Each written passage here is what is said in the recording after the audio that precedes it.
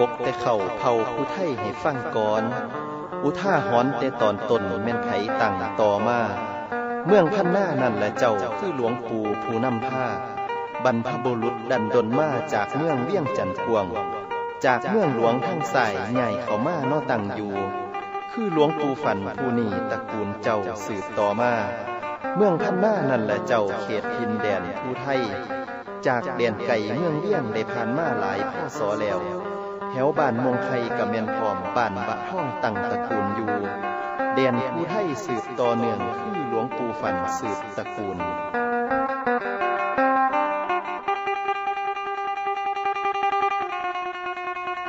สืบสารดินแดนอริยธรรมเขาผู้ไทย จากรุ่นสู่รุ่นจากลูกสู่หลานบ่แม่นประวัติศาสตร์บ่แม่นตำนาน นี่เป็นสิ่งยากสีลืมใดล่องลอยแห่งอารยธรรมบ่เคยลืม หรือว่าลบเลื่อน ได้จารึกไว้ในจิตวิญญาณแห่งจริยธรรมควมดีงามของส้นกลุ่มใหญ่ ที่สืบต่อกันมาบ่มีวันลืมเลือน เพิ่นเอิ่นว่า ผู้ไทย ดังเส้นหลวงปู่ฝันอาจารโล ท่านก็เป็นคนผู้ไทยคือกัน เป็นพระอริยสงฆ์ทรงธรรมแห่งทองคงธรรม บนเทือกเขาผู้พาน พระเดชพระคุณหลวงปู่ฝันอาจารโล เกิดในตระกูลสุวรรณรงค์เป็นตระกูลเจ้าเมืองพันนานิคมโยมมิดาของท่านซื้อเจ้าไสยกุมารซื้อเหรียญเมาโยมมั่นดาซื้อเมนุยหลวงปู่เกิดที่บ้านมงไคตำบลพันนาอำเภอพันนานิคม จังหวัดสกลนคร เมื่อวันอาทิตย์ขึ้น 14 คำเดือนเก่าปีกุล ตรงกับวันที่ 22 สิงหาคม พศ 2442 ท่านพระอาจารย์ฟันอาจารย์โลเป็นบุตรคนที่หาในจำนวนพี่น้องรวมนิดามานดาแปดคน พี่น้องทุกคนนี่ถึงแก่กรรมไปเบิดแล้วยังเหลือลูกหลานที่สืบสกุลต่อมาเท่านั้น ด้วยเหตุที่ท่านพระอาจารย์ฟันอาจารย์โล ท่านสืบเสื้อสายขุนนางทั้งทางฝ่ายบิดามารดา ซึ่งอาจสิเป็นเหตุที่ทำให้พระอาจารย์ฟัน มีความเมตตาต่อประชาชนทั่วไป มีความรักษาบ้านเมือง และจงรักภักดีต่อพระมหากษัตริย์เป็นอันมาก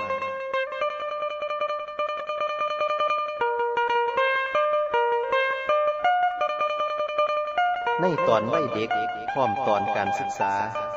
องค์ท่านพระอาจารย์ฟันอาจารโล ท่านเป็นผู้มีลักษณะดี มีความประพฤติเรียบร้อย และมีน้ำใจโอบอ้อมอารีมาตั้งแต่น้อย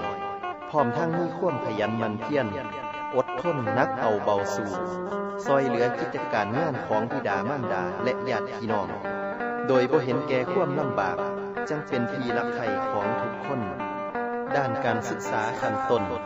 ท่านพระอาจารย์ฟันเริ่มเรียนหนังสือ ที่วัดโพไส้บ้านมองไคมีคู่หุนไส้ส้มคู่เป็นคู่สอน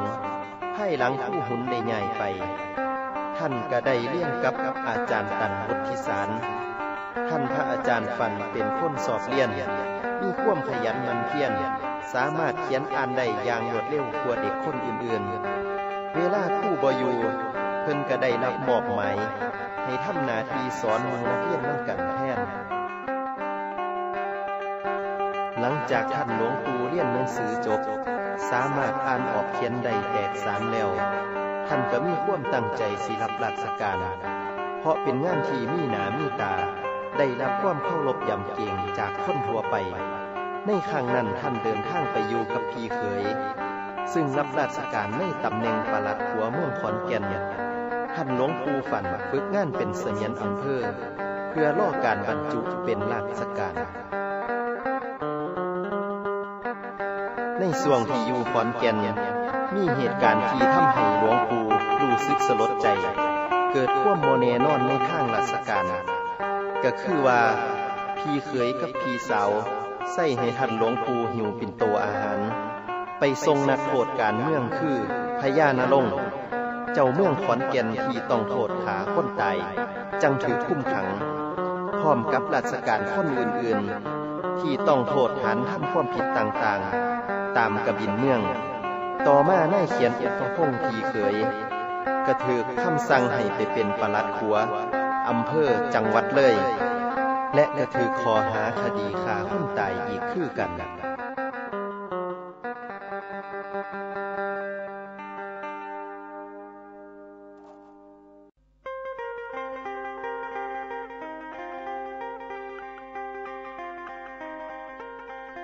ในครั้งนั้นท่านพระอาจารย์ฝันอาจารโล ได้เห็นเหตุการณ์วุ่นวายของข้าราชการ และบ้านเมืองเห็นการปราบปรามผู้ไล่มีการขาฟันนักโทษถือประหารชีวิต เจ้าเมืองไก่มาเป็นนักโทษ แต่ที่เศร้าใจยิ่งคือ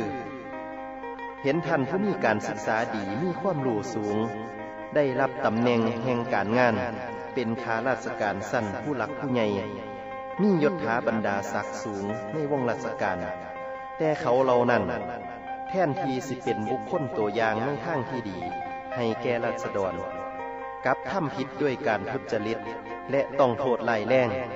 และกะยังสู้ข้อร้อยนวลจับบ่ได้ไล่บ่ท่านกะยังเห็นอยู่มีหลาย เรื่องมูนี่เป็นเหตุให้ท่านได้ขอคิด เกิดการสลดใจให้ท่านเบื่อในายค่ายควมยินดี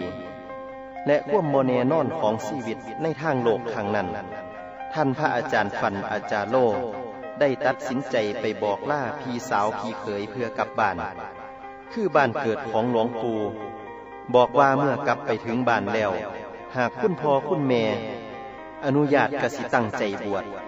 ด้วยใจจริงแล้วพี่เคยพี่สาวก็บ่อยากให้กลับ เห็นว่าน้องไส้คิดไปทางบุญทางกุศล นาอนุโมทนาท่านยิ่ง พีทั้งสองกระบอขัดขวง ท่านพระอาจารย์ฟันอาจารย์โล จังเดินทางกลับบ้านด้วยการยางออกจากจังหวัดเลย บุกป่าฟาดงกลับบ้าน ผ่านทางจังหวัดอุดรธานี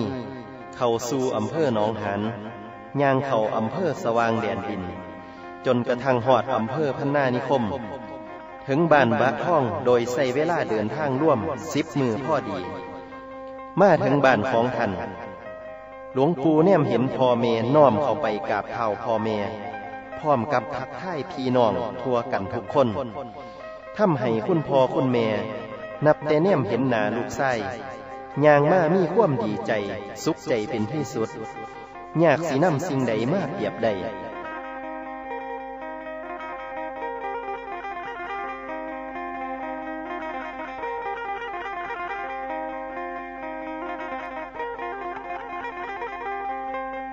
ย่ามล่มโบยโบกฝ่าเดือระดาษสวยงาม ย่ามเมื่อล่มมาพัด มันหักเย็นสุกลำค่ำตำนานอยู่พื้นบ้านสถานเมืองมองเคยอยู่ คือหลวงปู่เฮาผู้นี่หวังสร้างตั้งแต่บุญ เพิ่นว่าบุญบุญนี่บ่มีไผปันแจก มันบ่แหกออกได้คือไม่พากลาง คือจังเฮากินเขาเฮากินเฮากะอิ่มมันบ่ไปอิ่มทองเขานั่นผู้บ่กิน ภายภาคนาท่านจะต้องได้เข้าไปอยู่ในดงขมินตลอดชีวิต ระหว่างนั้นท่านจะสร้างแต่คุณงามความดี อันประเสริฐเลิศลำคา สิเป็นผู้บริสุทธิ์ผ่องใสประซาส้นทุกสันตั้งแต่สูงสุดต่ำสุด ทุกเสื้อศาสตร์ศาสนาที่ได้ฟังธรรมเทศนาของเพิ่นสิบังเกิดความเหลื่อมใสต่อท่านหลวงปู่และลดพระธรรมที่ท่านเทศนาเป็นอันมาก นี่เป็นคำพยากรณ์จากคุณญาของท่านหลวงปู่ฝันอาจาโล ที่เคยทำนายไว้ และบัดนี้สีเหลืองของสมุนไพรขิมิน เริ่มถอดยอดไปออกเหนือแผ่นดิน กินของขิมินดง นี่ได้ทรงกินหอมละล่วยไปทั่วหน่วยเนื้อของศิลธรรมได้เกิดขึ้นแล้ว เกิดมาพร้อมกับข่วมเป็นมงคล แห่งพระอริยบุคคล บนหุบเขาและท้องทงหน้าสีเขียว ของส้นเผาผู้ไทยพ่อศ2461 ปีมาเมีย ยังคว่มปราบปลื้มใจ ให้แกโยมมิดามานดา และญาติพี่น้องเป็นอย่างยิ่ง เมื่อนุ่มฝันอายุได้19ปีบิดามารดาได้อนุญาตให้ท่าน บวชเป็นสัมมาเนนบวชเลี่ยนเขียนอ่าน กับท่านพระคู่สกลสมณกิจ หรือท่านอัญญาคู่ธรรมที่วัดพ้นท่องบ้านบะท่อง บ้านเกิดของหลวงปู่นั่นเอง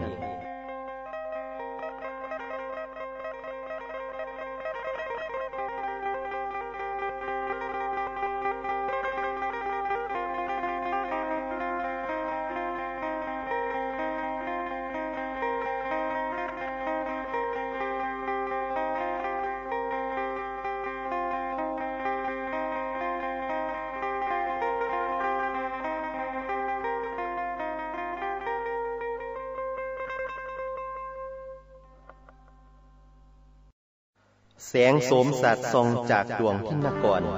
แพร่กระจายเป็นแสงสีเงินสีทองปกอุ้มเหนือหยอดของต้นเขาสีเขียวสะอุ่ม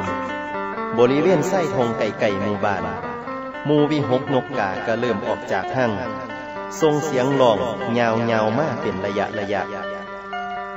ล่มลุงอรุ่นพัดผิวทิ่วสวย ถือเป็นนิมิตแห่งย่ำเศร้ามือใหม่ แนมเห็นเศร้าบ้านได้ยืนเลี้ยงไล่ล่อเตรียมหาใส่บาทในถูกทุกมือย่ำตอนเศร้ากินหอมของเขาเหนียวสุก ได้ทรงกินหอมฟุ้งขจรไก่ไปทั่วบริเวณ อันอดที่จะน้อมล่ำลึกถึงพุทธพจน์ของพระพุทธองค์ เคยตัดว่าไผผู้ทุกข์ยากห่อนเจ็บปวดทรมาน มันนำมาคือผลกรรมที่สร้างทำเอาไว้ หากมีใจใสเหลื่อมบ่มีเจ็บไข้ป่วย นี่เราบุญมาแลนช่วย ให้เฮาได้แม่นอยู่ดี เพิ่นว่าบุญบุญนี่มันเห็นอยู่กับตา บุญนำผ้าเฮาสุขอยู่สบายกายเนื้อบุญนำเฟื่อนำช่วยให้ความช่วยหนีออกห่าง บุญเฮาได้ก่อสร้างเอาไว้ตั้งแต่นานส่วนบาปกรรมนั่นละท่านก็เห็นอยู่กับตาพ่อละม่านจิตใจนี่ละโตกรรมแท้ กรรมบ่แบคือเจ็บไข้ท่อละม่านเป็นป่วย นี่ละโตบาปให้ที่เฮาได้พบเห็น ขั้นผู้ใดอยากเว้นให้สร้างแต่ความดี ความโศกีความทุกสิโมมีมาไก่มาสร้างบุญเอาไว้นำกันเด้อพ่อแม่บุญสินำซอยแก่ให้เฮาได้แม่นอยู่ดี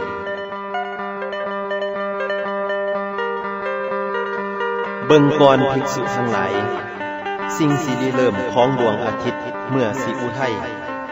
คือแสงสีเงินสีทอง ที่ลำไล่สันใด ภิกษุทั้งหลาย สิ่งที่เริ่มต้นของกุศลธรรมทั้งหลายก็คือ การฝึกจิตให้ดีสันนั่นคือกัน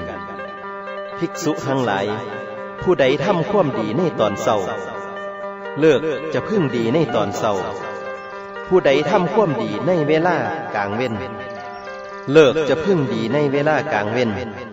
ผู้ใดทำความดีในเวลาเย็น เลิกจะพึ่งดีในเวลาเย็น ภิกษุทั้งหลาย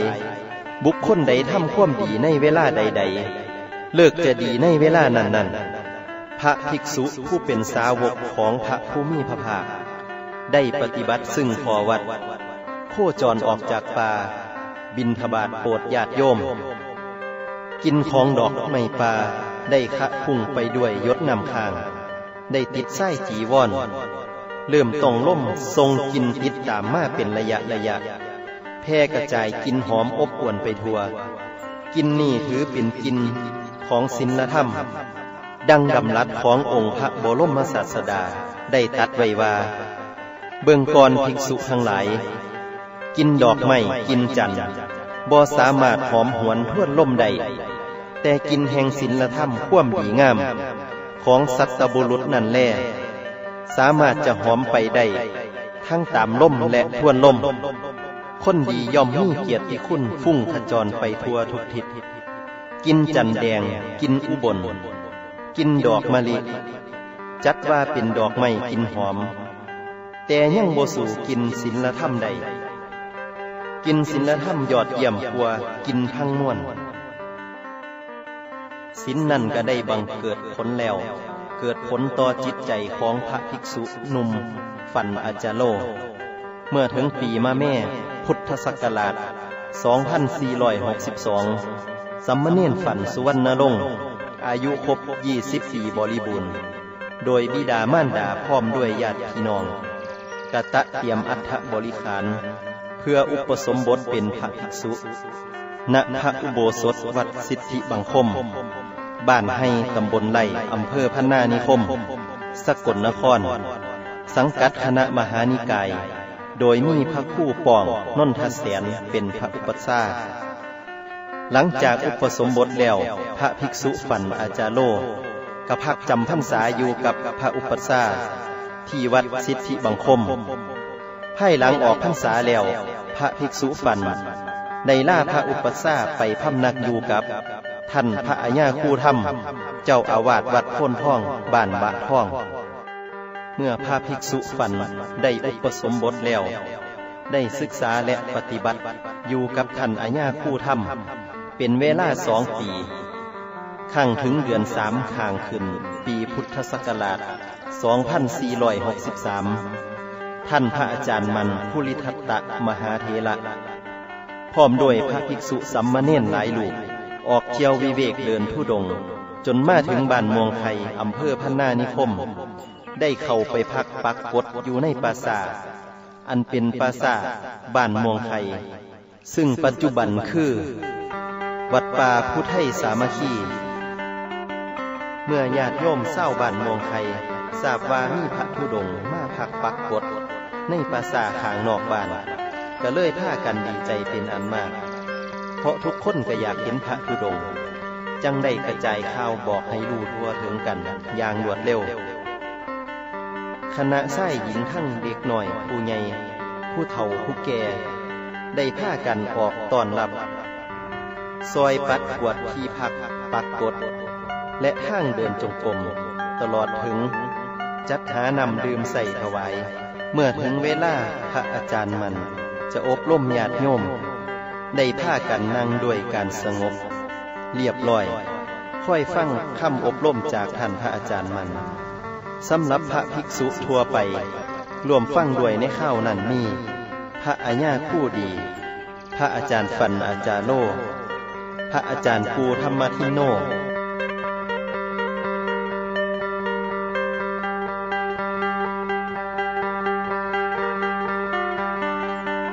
ในปีพศ 2466 หลวงปู่ฝันอาจารโล ท่านได้จำพรรษาอยู่วัดโพไซบ้านมงไคตำบลพันนาอำเภอพันนานิคม จังหวัดสกลนคร จึงได้เข้าศึกษาวิธีฝึกจิตภาวนาเบื้องต้น กับหลวงปู่ดุลตลอดพรรษา พร้อมกับพระเน่นอีกหลายองค์ ทุกท่านพร้อมน้อมจิตตั้งใจ ดำเนินตามปฏิปทาของพระอาจารย์มันพุริทัตโต โดยบ่ได้ขาดตกบกพร่องคณะสัทธาญาติโยมต่างในทราบข่าว อันเป็นมงคล เสียงลำลือไปไกลว่ามีพระดี ซึ่งเป็นพระธุดงมาโปรดเศร้าบ้าน ทั้งหมู่บ้านไก่เคียงได้มากราบนมัสการ ฟังเทศฟังธรรม และฝึกปฏิบัติกรรมฐานกับหลวงปู่ดุล ธรรมเทศนาของหลวงปู่ดุล ที่ได้แสดงณทีต่างๆภายในท่านสา ท่านหลวงปู่ฝันได้รับฟังคืออริยสัจแห่งจิต โดยสรุปด้วยถ้อยคำของหลวงปู่ฝันเฮาว่า จิตที่ทรงออกนอก เพื่อรับสนองอารมณ์ทั้งสิ้นเป็นสมุทัยผลอันเกิดจากจิตที่ทรงออกนอก แล้ววันไหวเป็นทุกข์ จิตเห็นจิตอย่างแจ่มแจ้งเป็นมรรคผลอันเกิดจากจิตเห็นจิตอย่างแจ่มแจ้งเป็นนิโรธท่านหลวงปู่ฝันอาจารย์โล ได้อยู่ศึกษากับพระอาจารย์มัน เป็นเวลาสามมือ ได้อุบายวิธีการภาวนาจากพระอาจารย์มัน สนิทอย่างจุใจเต็มอัตตา แล้วท่านหลวงปู่ฝันจังได้ล่าพระอาจารย์มัน ไปกราบนมัสการพระอาจารย์เสา ซึ่งท่านได้พักทำความเพียรภาวนาโยธิปาไก่บ้านน้องดินดำไก่บ้านตาลโคนในระหว่างท่านอยู่กับพระอาจารย์เสากับท่านพระอาจารย์มัน พระอาจารย์มันได้สอนสี่วิธีทางปฏิบัติอย่างถึงจิตถึงใจ ให้เป็นผู้ตั้งใจทำความเพียรแรงกาเด็ดเดียวไปลำพังองค์เดียวเที่ยววิเวก อย่าได้คุกขี้ ให้ยินดีต่อความสงบ นี่คือคำสอนของพระอาจารย์มันทุลิทัตโต ด้วยเหตุนี้ความมั่นใจในการดำเนินชีวิต แบบพระธุดงกรรมฐานของหลวงปู่ฟัน จังมันคงยิ่งขึ้น และบอแปรเปลี่ยนเมื่อได้จังหวะเหมาะหลวงปู่ฟันกะกาบเลี่ยนพระอาจารย์มันถึงความประสงค์ที่จะขอเปลี่ยนยติเป็นพระธรรมยุทธหลวงปู่มันได้หูจิตใจศรัทธาเหลื่อมใส ของลูกศิษย์เป็นอย่างดี จังตกลงรับทันทีพร้อมได้จัดการให้หลวงปู่ฟัน จัดเตรียมบริขารสำหรับการบวชใหม่ และฝึกซ้อมขานนาคจนคล่องแคล่วบ่มีติดขัดเกิดเขิน จังได้นำหลวงปู่ฝันไปบวชยติเป็นพระธรรมยุทธณวัดโพธิสมพรจังหวัดอุดรธานี เมื่อวันที่ 21 พฤษภาคม พศ 2468 เวลา15นาฬิกา 22 นาทีโดยมีท่านเจ้าคุณพระธรรมเจดี จูมพันธุโลเป็นอุปสาพระอาจารย์ลดเป็นพระกัมมวาจาจารย์ พระอาจารย์มุกเป็นพระอนุสาวนาจารย์ ก่อนหน้านั้นในเดือนมกราคม พศ 2467 มารับการยติเป็นธรรมยุทธ์สององค์ คือหลวงปู่อุ่นยันนสิริพระอาจารย์อุ่น นอกนี้ก็มีพระอาจารย์กวาสุมาโนน้องไส้พระอาจารย์กูธรรมทินโน เขาพิธีอุปสมบท ในคณะพระธรรมยุทธ์หลังจากหลวงปู่ฟันอาจารย์โล เขายติมาบดลระวางพรรษา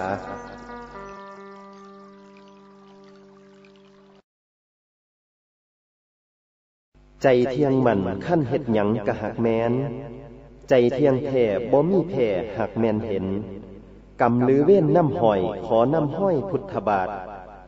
บ่เคยขัดต่อห้องพุทโธเจ้าได้สั่งสอน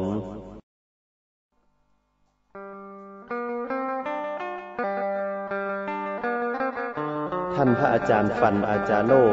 ได้เดินทางไปจำพรรษา กับพระอาจารย์มันพุริทัตโต ที่วัดอาลันวาสีอำเภอทาบอจังหวัดหนองคายนับเป็นพรรษาเหลกของคณะธรรมยุทธ์โดยมีสหธรรมิก ได้ร่วมจำพรรษากับท่านในครั้งนั้น คือพระอาจารย์ปูธรรมทินโน พระอาจารย์อ่อนยันเนสิริ พระอาจารย์สารพระอาจารย์กวาสุมาโน และพระภิกษุสัมมาเนนอีกสิบหกลูกในระหว่างจำพรรษานั้น ท่านอายุได้ยี่สิบหกปี ได้อาพาธเป็นไข้มาลาเรียตลอดพรรษา แต่ท่านก็บอกเคยละซึ่งนาทีค่อยปฏิบัติอย่างบ่ได้ขาด ถึงสิมีผู้มานิมนต์ให้หยุด ท่านก็บอกย่อมหยุดกระทำโตคือบ่ไข่โดยท่านใส่พลังจิตเข้าต่อสู่กับเวทนาที่เกิดขึ้น จนได้อุบายวิธีทำให้ท่านสามารถพลิกความป่วยไข้ มาเป็นถ้ำอริยสัจขึ้นได้จนหลวงปู่มันถึงกับออกปากส้มว่า ท่านฝันได้กำลังใจดีมากในพรรษานี้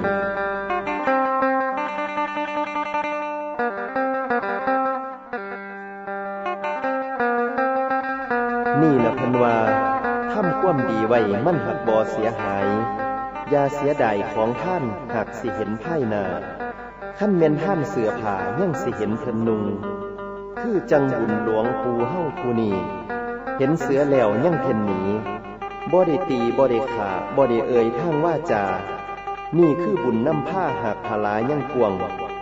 เสือหรือกวงในดงใหม่ในภูเขาหุบใหญ่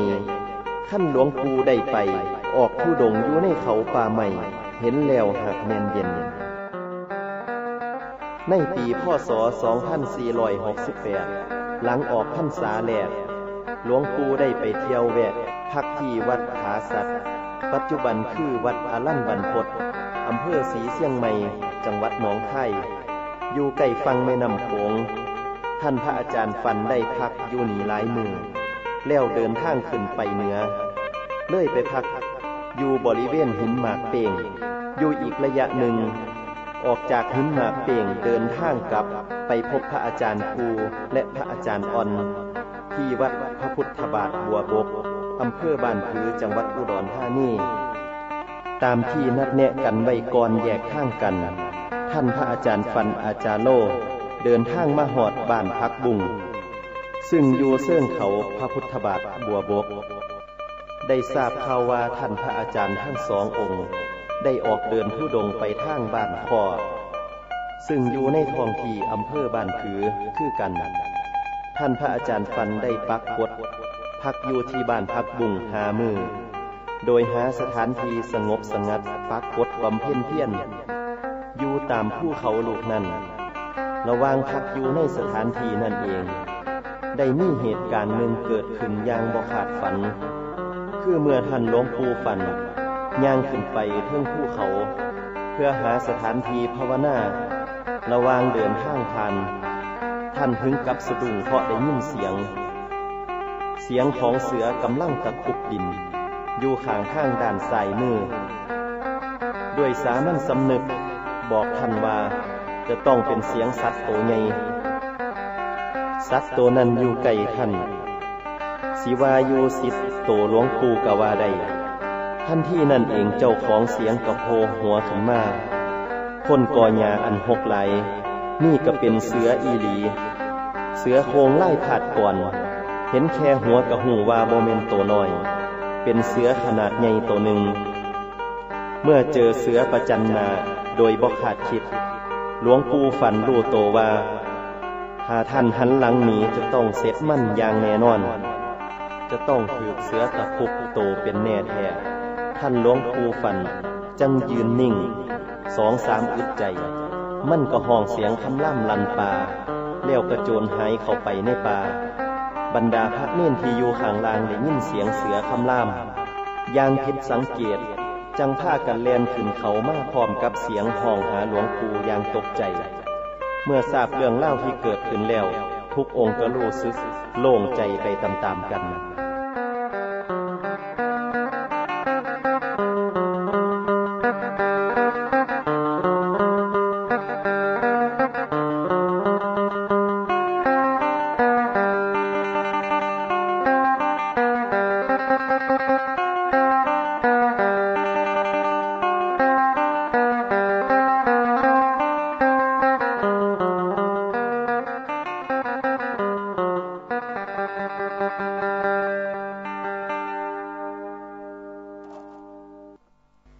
จังความคิดนี่มีมาหลายอย่าง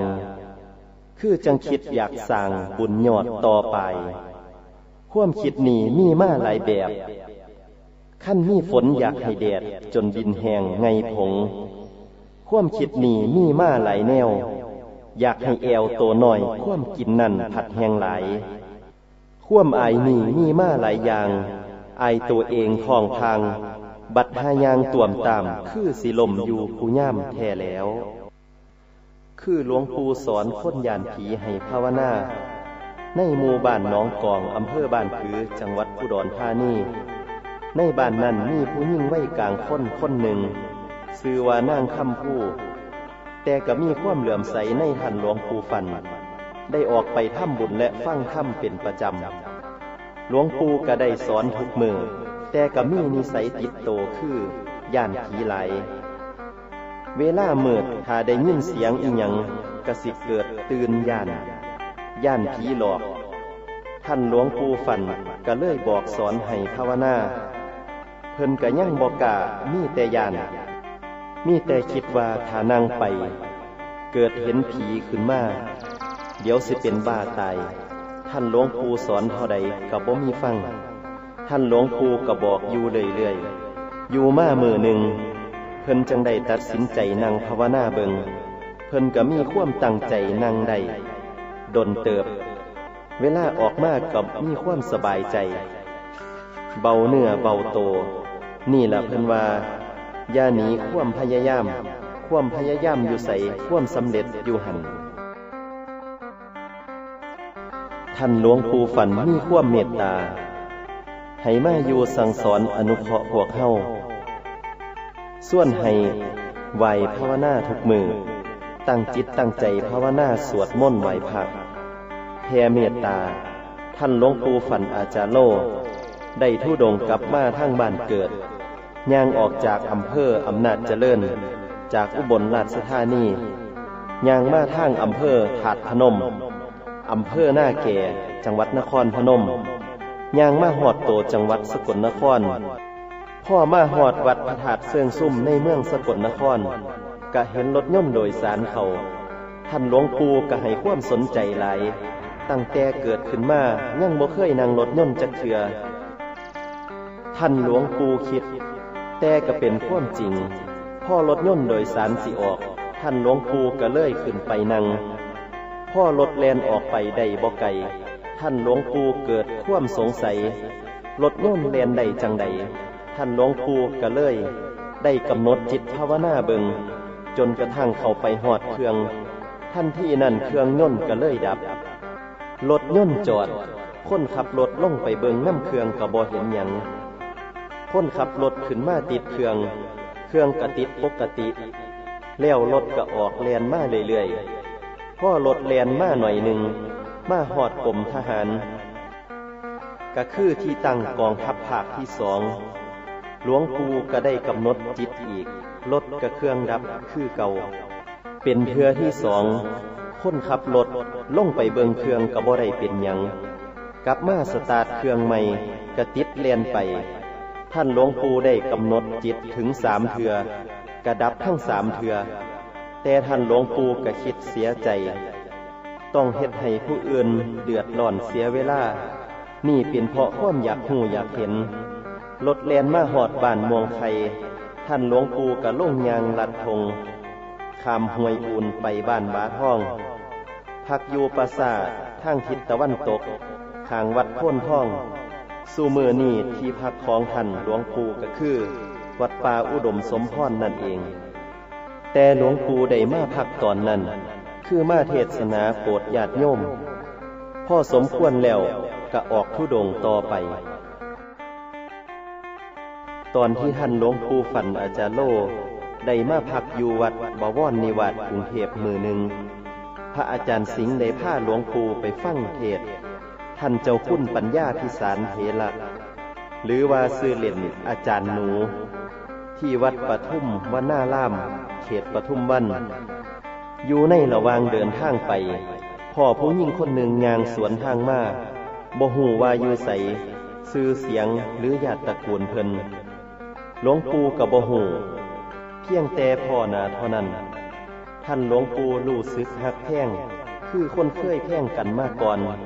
ว่างบ่ลงปงบ่ตก คิดหลายเทือหลายที่กับบ่ได้ผล อุบายสติปัญญาสมถะวิปัสสนา ที่ท่านเคยอบรมฝึกฝนมาอย่างโศกโซนจนพ่อโต สิ่งเหล่านั้นกระจักหายไปใส่เบิด แต่ท่านหลวงปู่กระลู่ซึกโตมาตลอด เจ้าข่วมหักไข่บ่ได้เลือกการสถานทีจนรวย เลวไล่แต่อย่างใดมั่นคมเหงหัวใจของสัตว์ทั้งหลายสิบ่เลือกนาทุกๆสั้น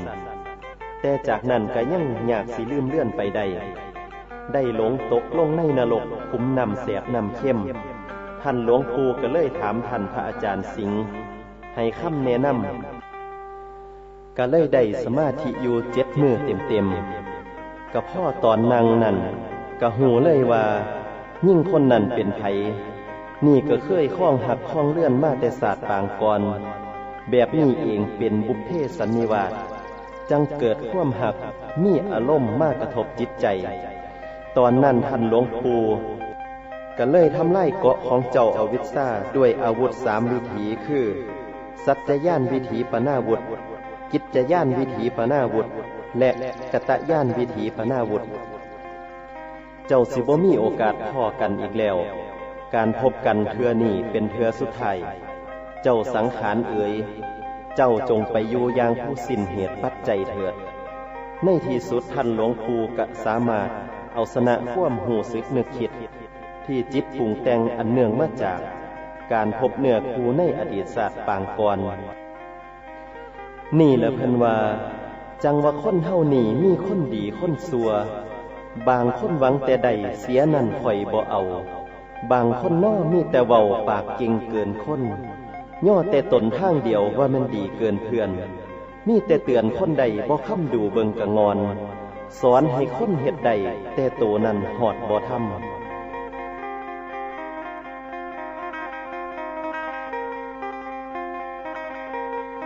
พี่น้องเอ๋ย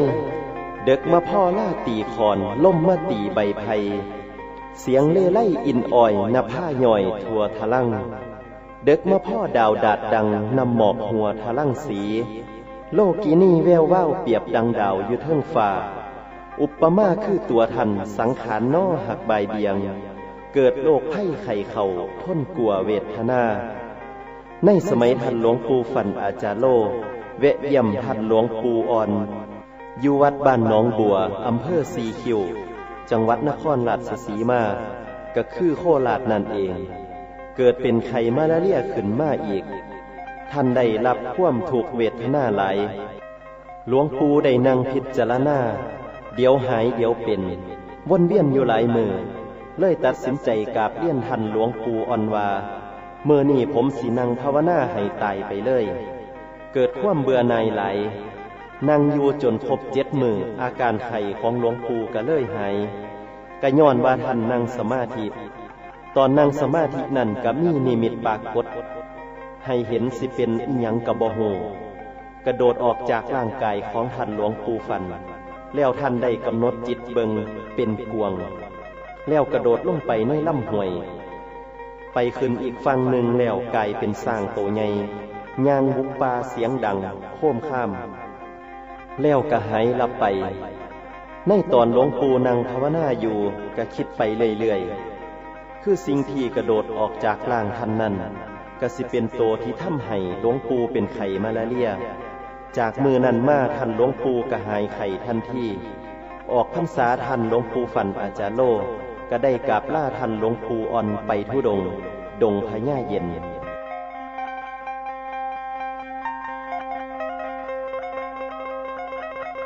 พี่น้องเอ๋ย ปีพ่อสอสองสี่เจ็ดเจ็ดดวงเขาหลวงปู่เฮ้าเพิ่นได้ยาง ออกทู่ดงเขาป่าใหม่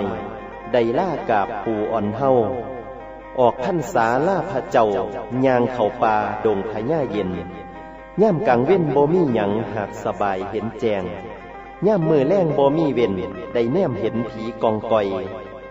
ตัวของมันหากเม่นหน่อย นาแหลมจ่อยทอเล็บมือ ถ้าแม่นไผคืนดื้อย่ามกลางคืนมั่นอารวาดคัดสินหาแท้แท้บ่ได้เว้นมีแต่กินแท้แล้ว ท่านหลวงปู่ฝันอาจารโล หลังออกพรรษาที่สิบในปีพศ 2477 ได้เดินทุดงไปทางดงพญาเย็น มีพระภิกษุไปนำกันสามองค์ สามเณรองค์หนึ่ง ท่านหลวงปู่ฝันมุ่งนาจนถึงดงพญาเย็น ย่างไปเรื่อยๆ จักหน่อยหนึ่งท่านก็รู้สึกสังหรณ์ใจ ว่ากำลังสิมีอีหยังเกิดขึ้น เพราะย่างอยู่ดีๆ ก็รู้สึกใจเต้นแห้ง จนผิดสังเกต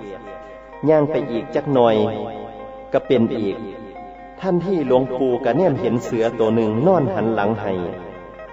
อยู่ใกล้ๆตัวหลวงปู่สิลบหนีกับบท่านหันหลังให้ก็สิถือเสือกิน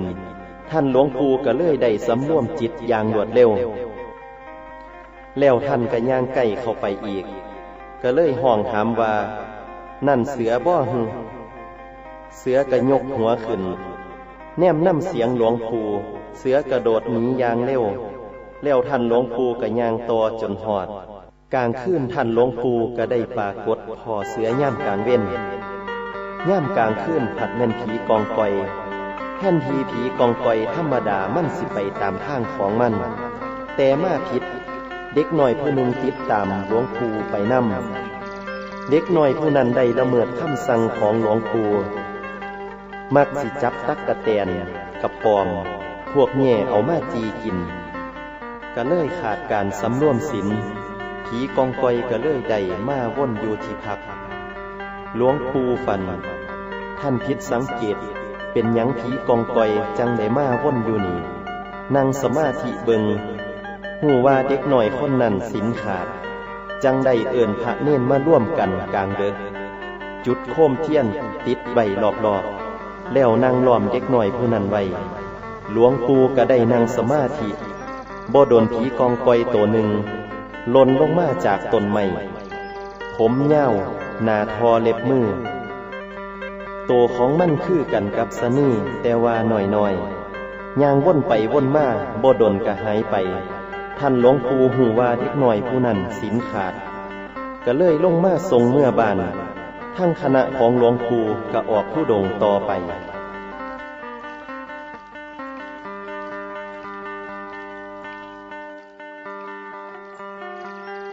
ปีพ่อสอลวงลำกำกายแมาดน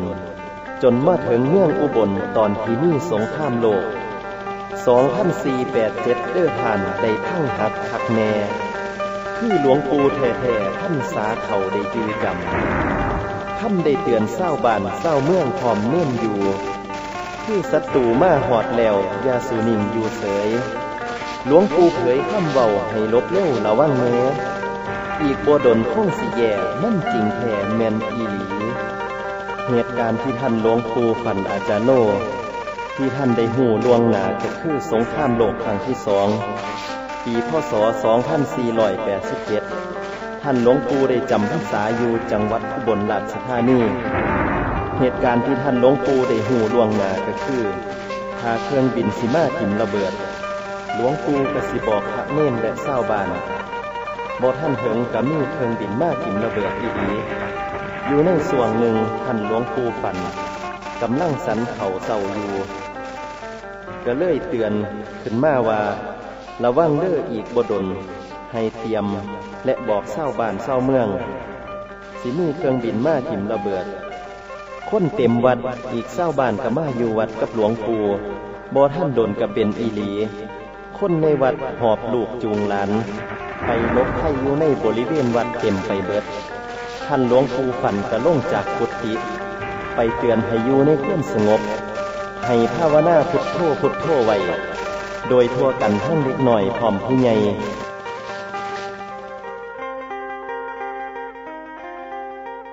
หลังจากหลวงปู่จำพรรษาอยู่จังหวัดอุบลก็ออกพรรษามาถึงฤดูกระถิน หลวงปู่ฝันอาจารย์โล ได้เข้านมัสการกราบล่าสมเด็จพระมหาวีระวงศ์ที่วัดสุปัตนาราม ขออนุญาตยางมาจังหวัดสกลนคร พร้อมกับลูกศิษย์ผ่านจังหวัดนครพนม ในมือไม่ท่านหลวงปู่ก็ย่างไปเรื่อยๆพร้อมความคิด สิไปกราบนมัสการหลวงปู่มันพุริทัตโต ไปพ่อหลวงปู่มันอยู่วัดบ้านห่วยแค้น แล้วเศร้าอยู่กับหลวงปู่มันสามคืนจังได้ล่าเมื่อย่างตอได้ไปพักอยู่วัดบ้านโคกกับอาจารย์กงมาหาขึ้น ต่อไป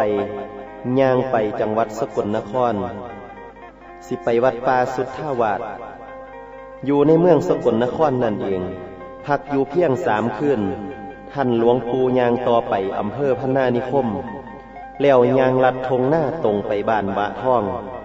บ้านเกิดของหลวงปู่นั่นเอง ได้เขาพักอยู่วัดบ้านบะ และภาษาไก่ไก่น้องแวงก็มีญาติโยมได้ผ้ากันมาถากถางเฮ็ดที่พักให้หลวงปู่สัวข้าว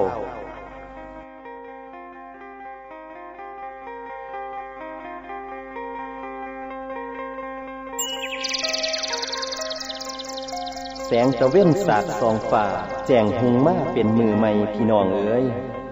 ฝ้าสิใสไปนาเมืองบานสิซุมเย็น เห็นมอนอดอกขัดเข่าหอมเป็นเล่าอยู่ในป่า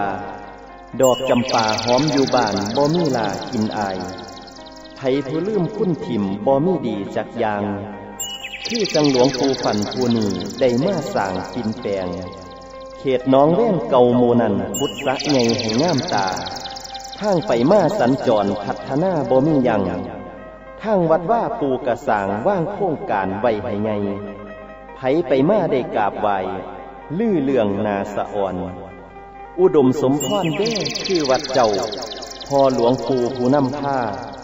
คือหลวงปู่ฝันฝันหาน้อบุญบ่มีแล้ว แถวอุบลโคราชได้ไปมาเบิดสุบอนกลับมาสร้างวัดอุดมสมพร สมกับพรอันเลิศลำค่ำนี้ให้จือเอาแน่เด้อ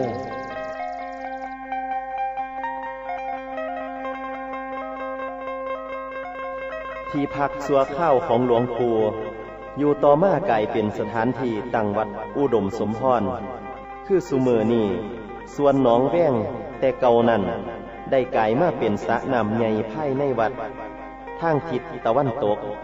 ซึ่งหลวงปู่ฝันกับญาติโยมได้สร้างโบสถ์น้ำอยู่กลางสะนั่นเอง ณบริเวณปราสาทขางหนองแวงหลวงปู่ท่านจัดเตรียมสถานที่เพื่อพร้อมจัดงานทำบุญอุทิศส่วนกุศล ให้แด่บุพการีของท่าน โดยมีญาติโยมเศร้าบานออกมาซอยกัน คือทุกอย่างพร้อมแล้ว ท่านหลวงปู่ได้จัดพิธีทำบุญขึ้น เป็นการทำบุญที่ยิ่งใหญ่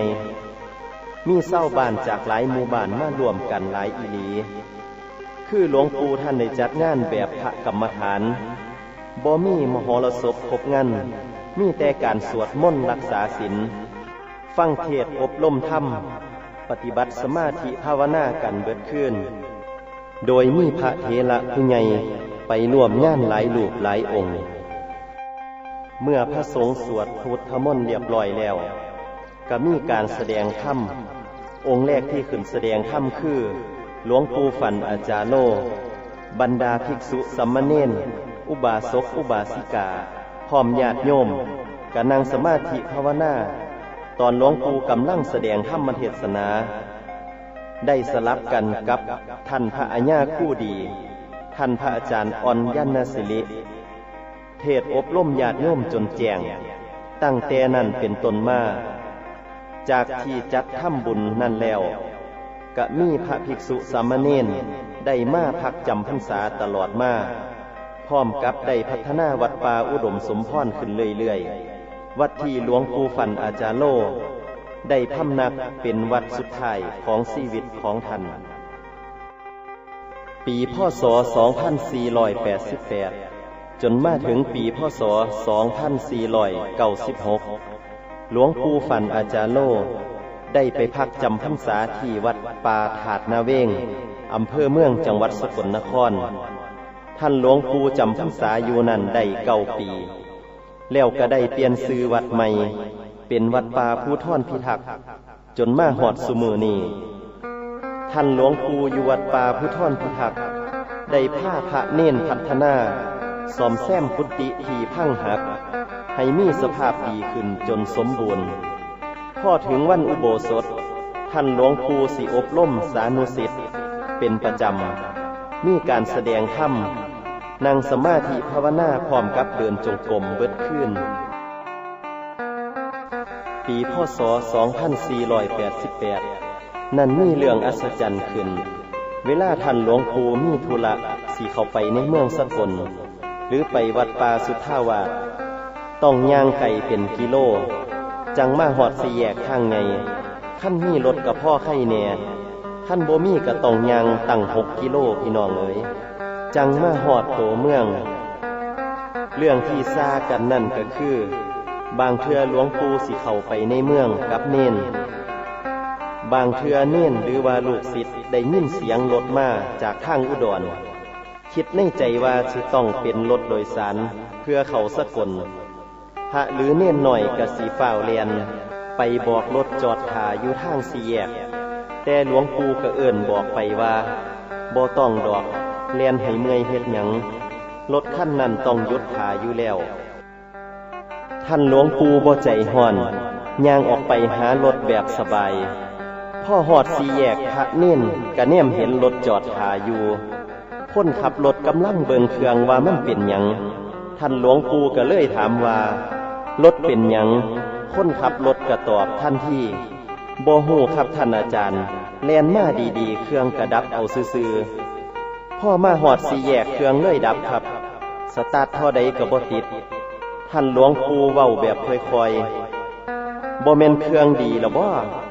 ล่องไปติดเบิงดูอัตมาขอโดยสารไปน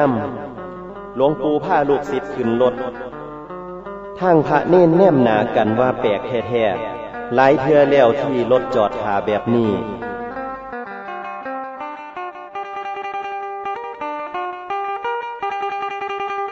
อยู่ในปีพศ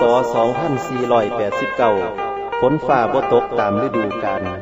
จนเขาพรรษาเดือนเก่าสิงหาคม ฝนฟ้าก็ยังบ่ตกเศร้าบ้านมาวัดจังหัน ได้พากันปรึกษากับหลวงปู่ ท่านจึงได้แนะนำให้รักษาศีลภาวนาอย่างเข่งขัด ท่านหลวงปู่ฝันจึงเว้าขึ้นว่า หากยึดมันในพระรัตนตรัยแล้ว สิบอดตายอย่างแน่นอน กุศลความดีทั้งเบิดสิรักษาผู้ปฏิบัติสอบเสมอ พวกบรรดาญาติโยมอยู่ในเขต เมืองสกลนคร หรือว่าที่อื่นๆ พร้อมผ้ากันรักษาศีลหาศีลแปดตามหลวงปู่เพิ่นบอก ต่อมามือหนึ่งท่านหลวงปู่ฝันให้สิทธิ์ เอาศาสตร์ไปปูอยู่ล้านวัดกลางแดด แล้วหลวงปู่กับพระภิกษุสององค์ สัมมาเนนสองลูกก็ได้ลงไปนั่งสวดคาถากลางแดดจ้า นั่งสวดไปได้ประมาณเคืองสุโมงก็เกิดมหัศจรรย์ขึ้น ห้องฝ่าที่มีแดดจ้าทันที่มีเสียงฝ่าห้อง แล้วเกิดมีก้อนขี่ฟ้าก้อนไงดำมืดบ่โดนฝนกระตกลงมาก จนท่านหลวงปู่บอกพระให้ลบฝนไปก่อน ส่วนตัวของท่านก็ยังนั่งสวดอยู่หม่องเก่าบ่ย่อมลบฝนเลย จนท่านหลวงปู่สวดแล้ว ท่านจังเข้าไปลบฝนญาติโยมพี่น้องพร้อมเศร้าบ้านก็ได้ดีใจหลาย เป็นน้ำผลพลาพระอาจารย์ฟัน หรือหลวงปู่ฝันของเฮานี่ละเพิ่นซอยให้ฝนตก จังได้ตกกาดำให้ดำหน้า ฝนตกอยู่ประมาณสามชั่วโมงเต็มเต็มเมื่อฝนเศร้าแล้ว ท้องฟ้าก็แจ่มใสคือเก่าแดดก็ออกตั้งแต่นั้นมาฝนก็ตกดีมาโดยตลอด ฝนสิตกฟ้าตั้งเงา ฝนสิเศร้าฟ้าตั้งโงนขั้นบ่ตกแท่แท่สังมาห้องอยู่บ่เศร้าแดดผัดแห้งห่อนอังเอาเผากายอยู่บ่มีไหวขอไอฝนมาป่วยทำห้อยลงคืน หลวงปู่เอ้ยขั้นเศร้าหน้าได้ยืนให้น้ำตาไหลบ่หยุดมี ขอบมันเป็นแบบนี้ปีหาศูนย์นี้กับเปลี่ยนแปลง ผู้ขาขอแห้งภาวนาตังขอนำฝนลงมาภาย ขอจงได้โปรดภายกับหลวงปู่ทอนันสิโตนถอนผู้เหนียวว่อน ก็คือปีหาศูนย์เดี๋ยวนี้ทางสกลนคร มีการแห้งแล้งไหลฝนฟ้าบ่ตกตามฤดูกาลผู้ที่มีน้ำคล้องส้นประท่านกะไข่แน่ผู้บ่มีกะแย่ไหล ผู้ขาจังใดเอ่ยขอนำฝนจากท่านหลวงปู่ฝันอาจารโลโปรดจงได้โปรดหายลูกหลานเศร้าหน้า สิได้ทำให้ทำหน้าในถอน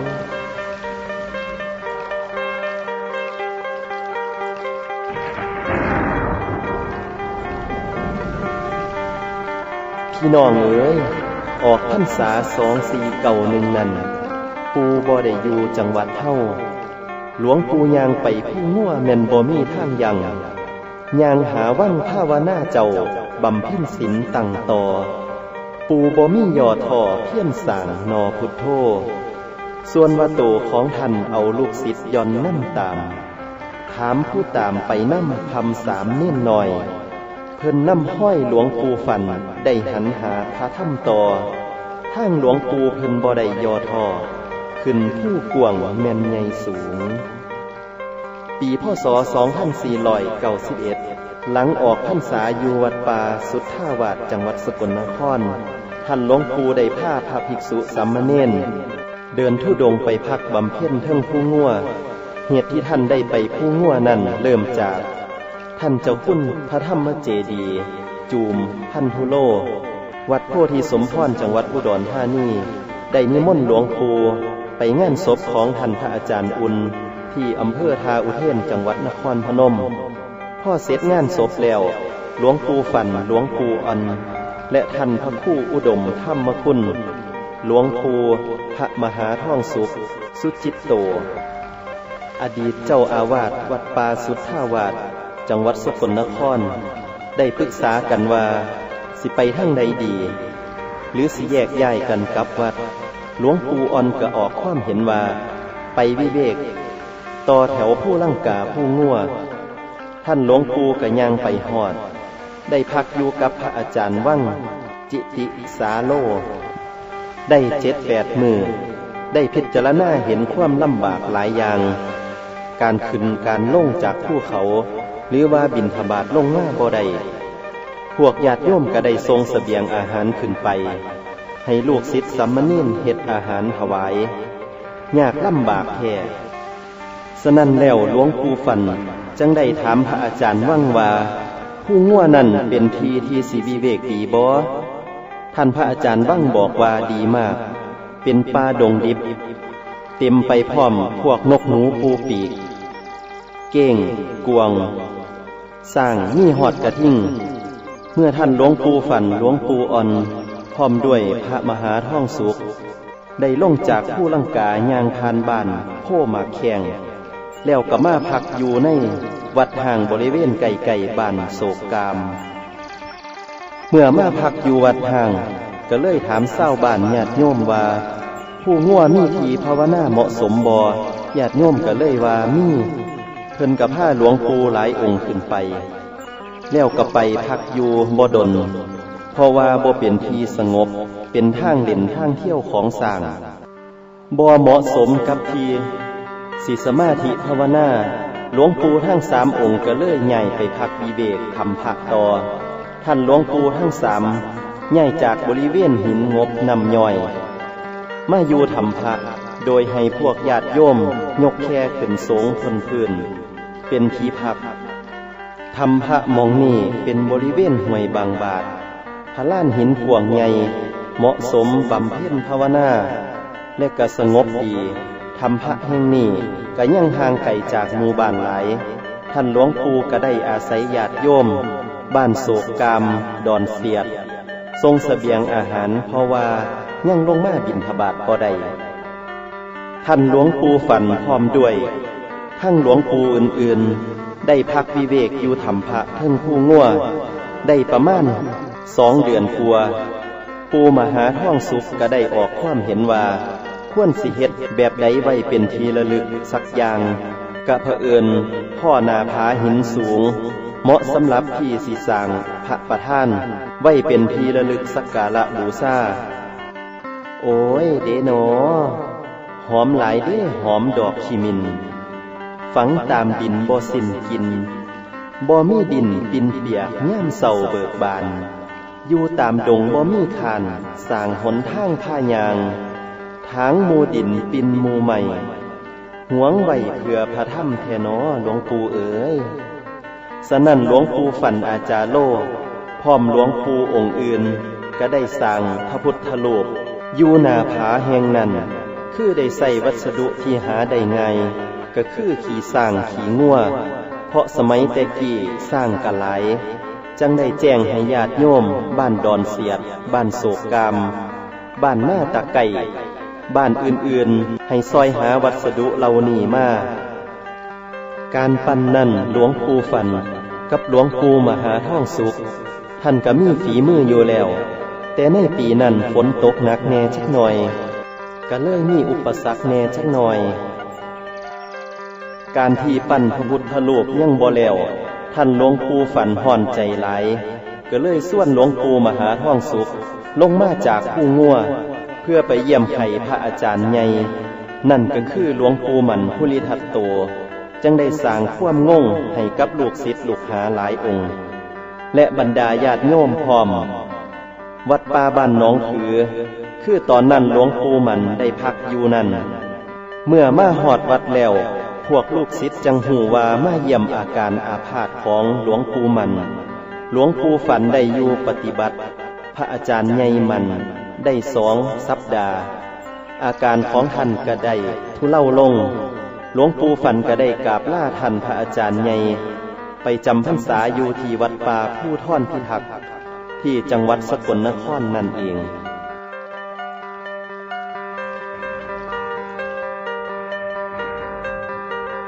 นี่ละน้อบุญพลาสางได้กลับมาคือเก่า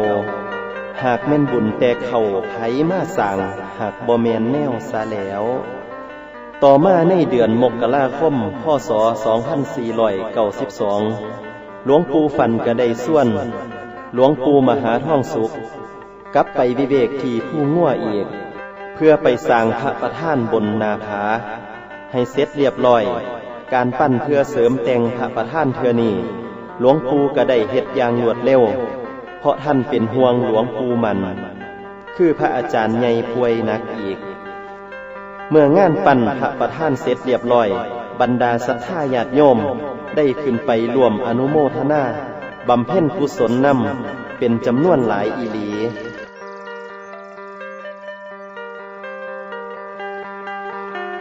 อยู่ในส่วงกลางพรรษาปีพศ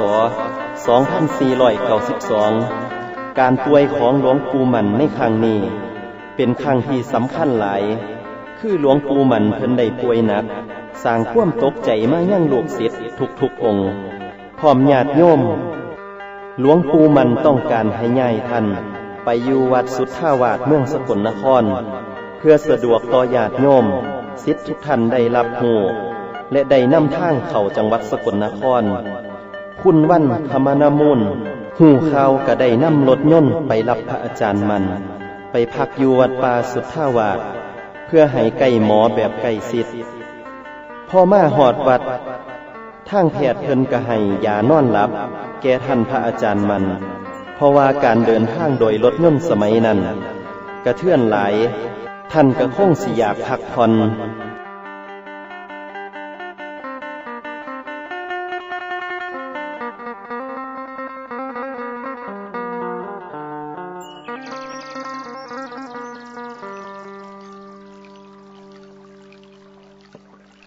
พี่น้องเอ๋ยคือตนไม้ใหญ่กำงาใหญ่ทั้งใบดกลนบ่มีทั้งหกมั่นหักแปนเอาหายสุมใส่ไฟบ่มีใหม่ คือไหมค่ำขอดเส้นมีเส้นไหมมีอยู่แล้ว คือแนวห้องแก้วได้ลนหายซาแล้ว หลังจากที่ท่านพระอาจารย์มัน ท่านได้รับฉันยาแล้ว ท่านลงภูฝันอาจารย์โล ท่านก็ได้ลงจากกุฏิ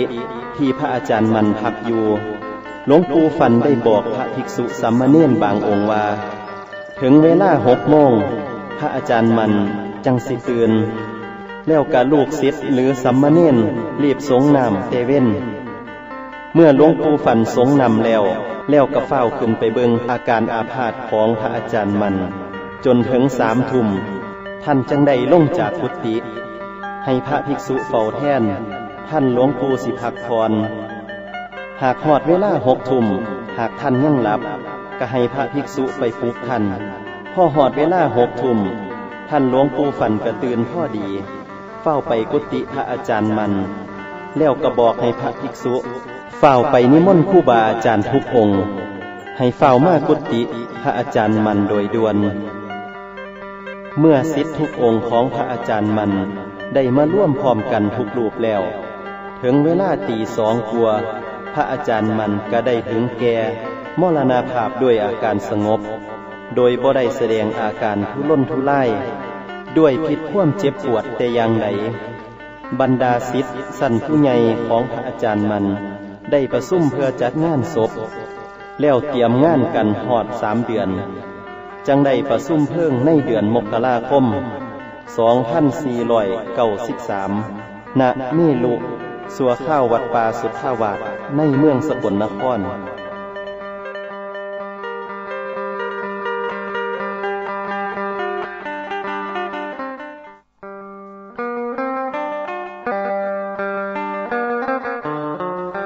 ในเมื่อจัดงานท่านพระอาจารย์มันแล้ว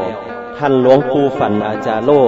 ท่านก็ได้เดินทางไปวิเวกทางผู้ง่วอีก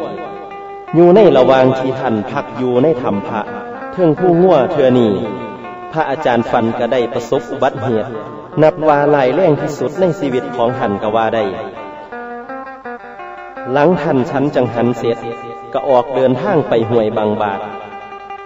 ท่านหลวงปู่ฝันยางหนาพระภิกษุตามหลัง มีโยมสองคนไปนำทั้งเบิดยางไปตามล่ำห่วยบางบาท พ่อหอดพระล้านหินสันหนึ่งสิขึ้นไปสันเทิง ระยะทางเงาสิบกว่าว่ากว่าได้แผ่นพล้านหินมีนำไหลกับมีขี้ไข่นำจับนำหายางบอละว่างกะสิเมือนโยมสองคนยางก่อน หลวงปู่ยางตามพระภิกษุยางต่อไทยหลวงปู่หลวงปู่ไก่ชีวิตมองมันเมือนแห้ง เพราะว่าหมองนั่นมันเป็นลุมหลองหินที่เลิกไหล ขี้ไข่นำกระจับไหล เหลือเพียงเก่าเดียวกับพลพ่อท่านหลวงปู่เก่าไปอีกเท่านั้น ท่านก็มืนลมทั้งยืน หัวฟาดกับพาล้านหินดังสนัน เสียงคือมะพร้าวถือทุบ จากนั้นก็ไหลลงไปตามล่องหิน เอาทั้งหัวไหลลงไปก่อนพระผู้เป็นลูกศิษย์ยืนอยู่ทั้งหลังตกใจจนโตสัน ยืนอยู่กับทีสิเข้าไปซอยอีหยังกับบ่ได้เพราะว่าพระภิกษุผู้เป็นลูกศิษย์กับประคองตัวเองแทบสิบอยู่ ได้แต่ยืนเบิงพระอาจารย์ไหพันนาไป พร้อมกับข่วมตกใจร่างของท่านหลวงปู่ไหลลงไปในหล่องหินประมาณหกว่ายังบ่แล้วไหลตกลงไปในหลุมหินอีกควมเมือนของขี้ไข่น้ำแหงเฮ็ดให้ท่านหลวงปู่มือนไหลลงไปอีกแหงเมือนแหงเสียหลักงูหัวขึ้นแล้วยังเมือนอีกทางพระลูกศิษย์คิดว่าท่านหลวงปู่ ต้องมรณภาพอย่างแน่นอน นี่ละเพิ่นว่า บุญน้ำสวยให้ความสวยหนีออกห่าง บุญเพิ่นได้ก่อสร้างเอาไว้ตั้งแต่นานส่วนบาปกรรมนี่ละท่านก็เห็นอยู่คือกันพ่อละมั่นจิตใจนี่ละโตกรรมแท้คงเป็นด้วยอำนาจบุญก่อนล่างท่านสิหอดส่องหิน ท่านหลวงปู่กับตั้งหลักลุกขึ้นได้ แล้วท่านก็ย่างขึ้นมาตามทางที่ท่านมืนตกลงไปท่าทางปกติคือเก่า คือบ่มีอีหยังเกิดขึ้นกับตัวท่าน พระลูกศิษย์ห้องขอให้ท่านอ้อมขึ้นไปทางอื่น แต่ท่านก็บ่ย่อมพร้อมกับบอกว่า เมื่อมันตกลงมามองนี่ก็ต้องขึ้นมองนี่ให้ได้พ่อเว้าแล้วท่านหลวงปู่ก็ย่างขึ้นมาได้แบบสบายย่างเหลือเสือนาอัศจรรย์ท่านหลวงปู่บ่มีบาดแผลแม่แต่น้อย ถึงสีมีกะเล็กหน้อย อยู่มองคอศอกทอหัวไม่ขีด แดงแดงพ่อหูจัก ในตอนท่านหลวงปู่ฝันอาจารโล ได้มืนลมตอนนั้นส่วงนั้นท่านได้กำหนดจิต ได้ในชัวพิบตาเฮ็ดให้โตเบาคือสำลีแบบฉับพันท่านหลวงปู่เคยสั่งสอนลูกศิษย์ว่า จิตของผู้ฝึกได้ดีแล้ว ย่อมมีสติอยู่ทุกอริยบทบวาสีเยือนหรือสียางหรือวานังพร้อมกับนอน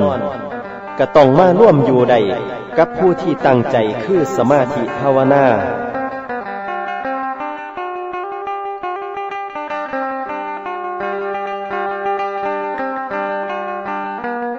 ในปีพศ 2495 ของเดือนกุมภาพันธ์ หลวงปู่ฝันอาจารโล ท่านได้ไปพัก วิเวกอยู่วัดธรรมเป็ด เขตอำเภอสว่างแดนดิน อยู่ใกล้กับวัดอภัยดำรงธรรม หรือวัดธรรมพ่วงของพระอาจารย์วันอุตโม อยู่ธรรมเป็ดแห่งนี้นอกจากท่านหลวงปู่สิพัฒนาด้านสถานที่แล้วก็ยังสักส่วนเศร้าบาน ให้ซอยกันก่อสร้างหาว่านวัตถุ ไว้เป็นสาธารณประโยชน์อีก ท่านก็ยังพัฒนาทางด้านจิตใจของเศร้าบานไปพร้อมๆกัน โดยฟังเทศสั่งสอน ให้หูจักทำบุญทำท่านการรักษาศีล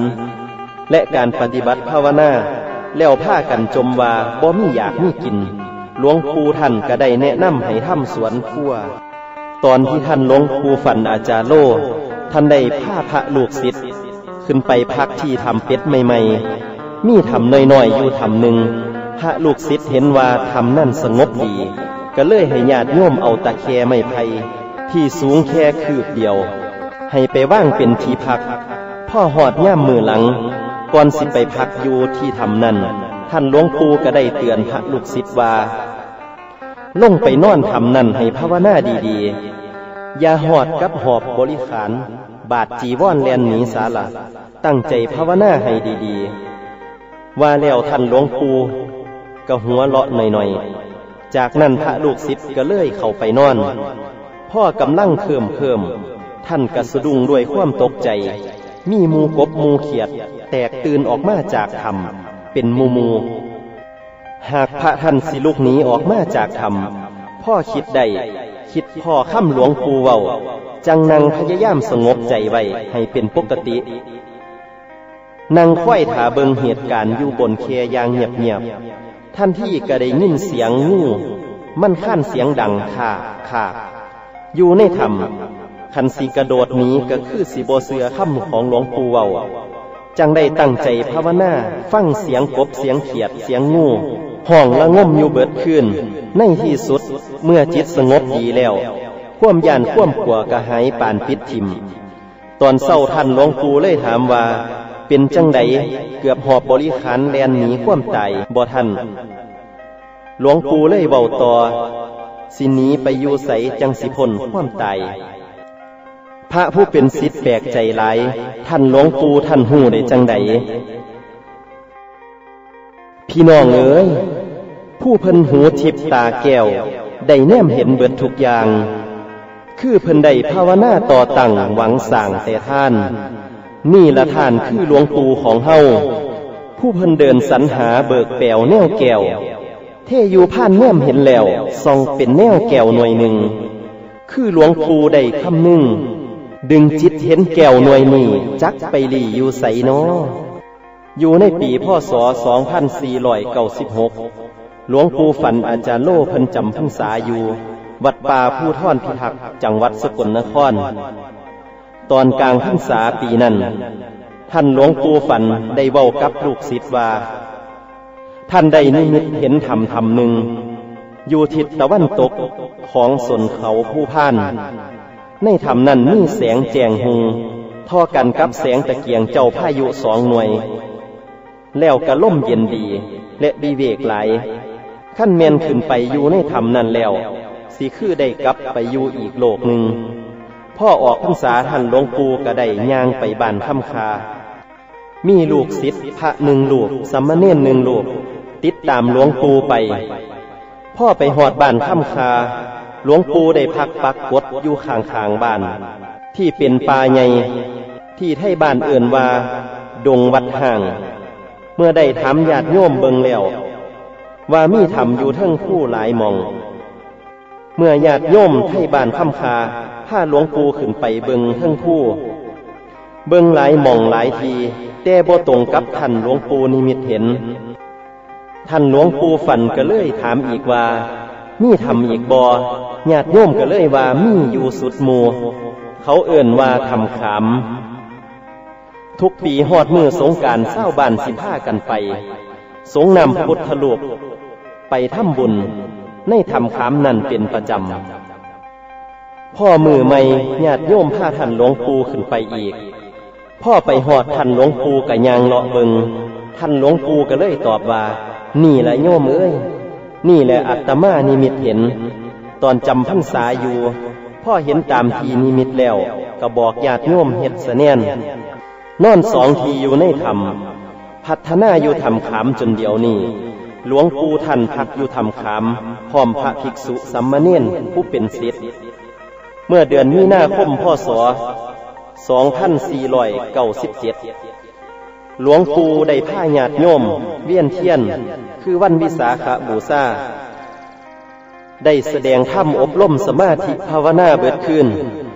หลวงปู่แสดงถ้ำจนหอดแจง ได้มีเศร้าบานขึ้นไปร่วมถ้ำบุญจนล้นหลาม หลวงปู่ได้ว่าว่า ได้พ่อมองบำเพ็ญความเพียรอย่างสมบูรณ์แล้ว สิบ่ไปจำพรรษาที่อื่น ได้เลือกบริเวณทำขาม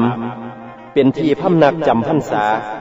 แล้วกระยาดโยมได้สร้างกุฏิให้กับท่านหลวงปู่หลังอยู่ทำขามหลังสูมือนี่เอง ซึ่งกุฏิหลังนี้ทางไตลางสิเป็นทำเสือ มีเสือตัวหนึ่งเที่ยวขึ้นเที่ยวลง พ่อหลวงปูไปอยู่เสือตัวนั่นกะนี้ คือสิเมนถวายทีแห่งนั้นให้หลวงปูฝันอาจารโล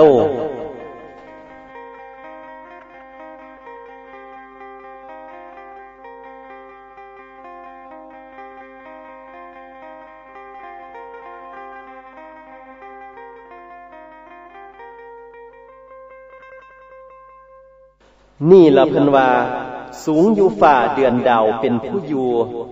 คือหลวงปู่ฝันผู้นี้สูงลำแห่งพระธรรม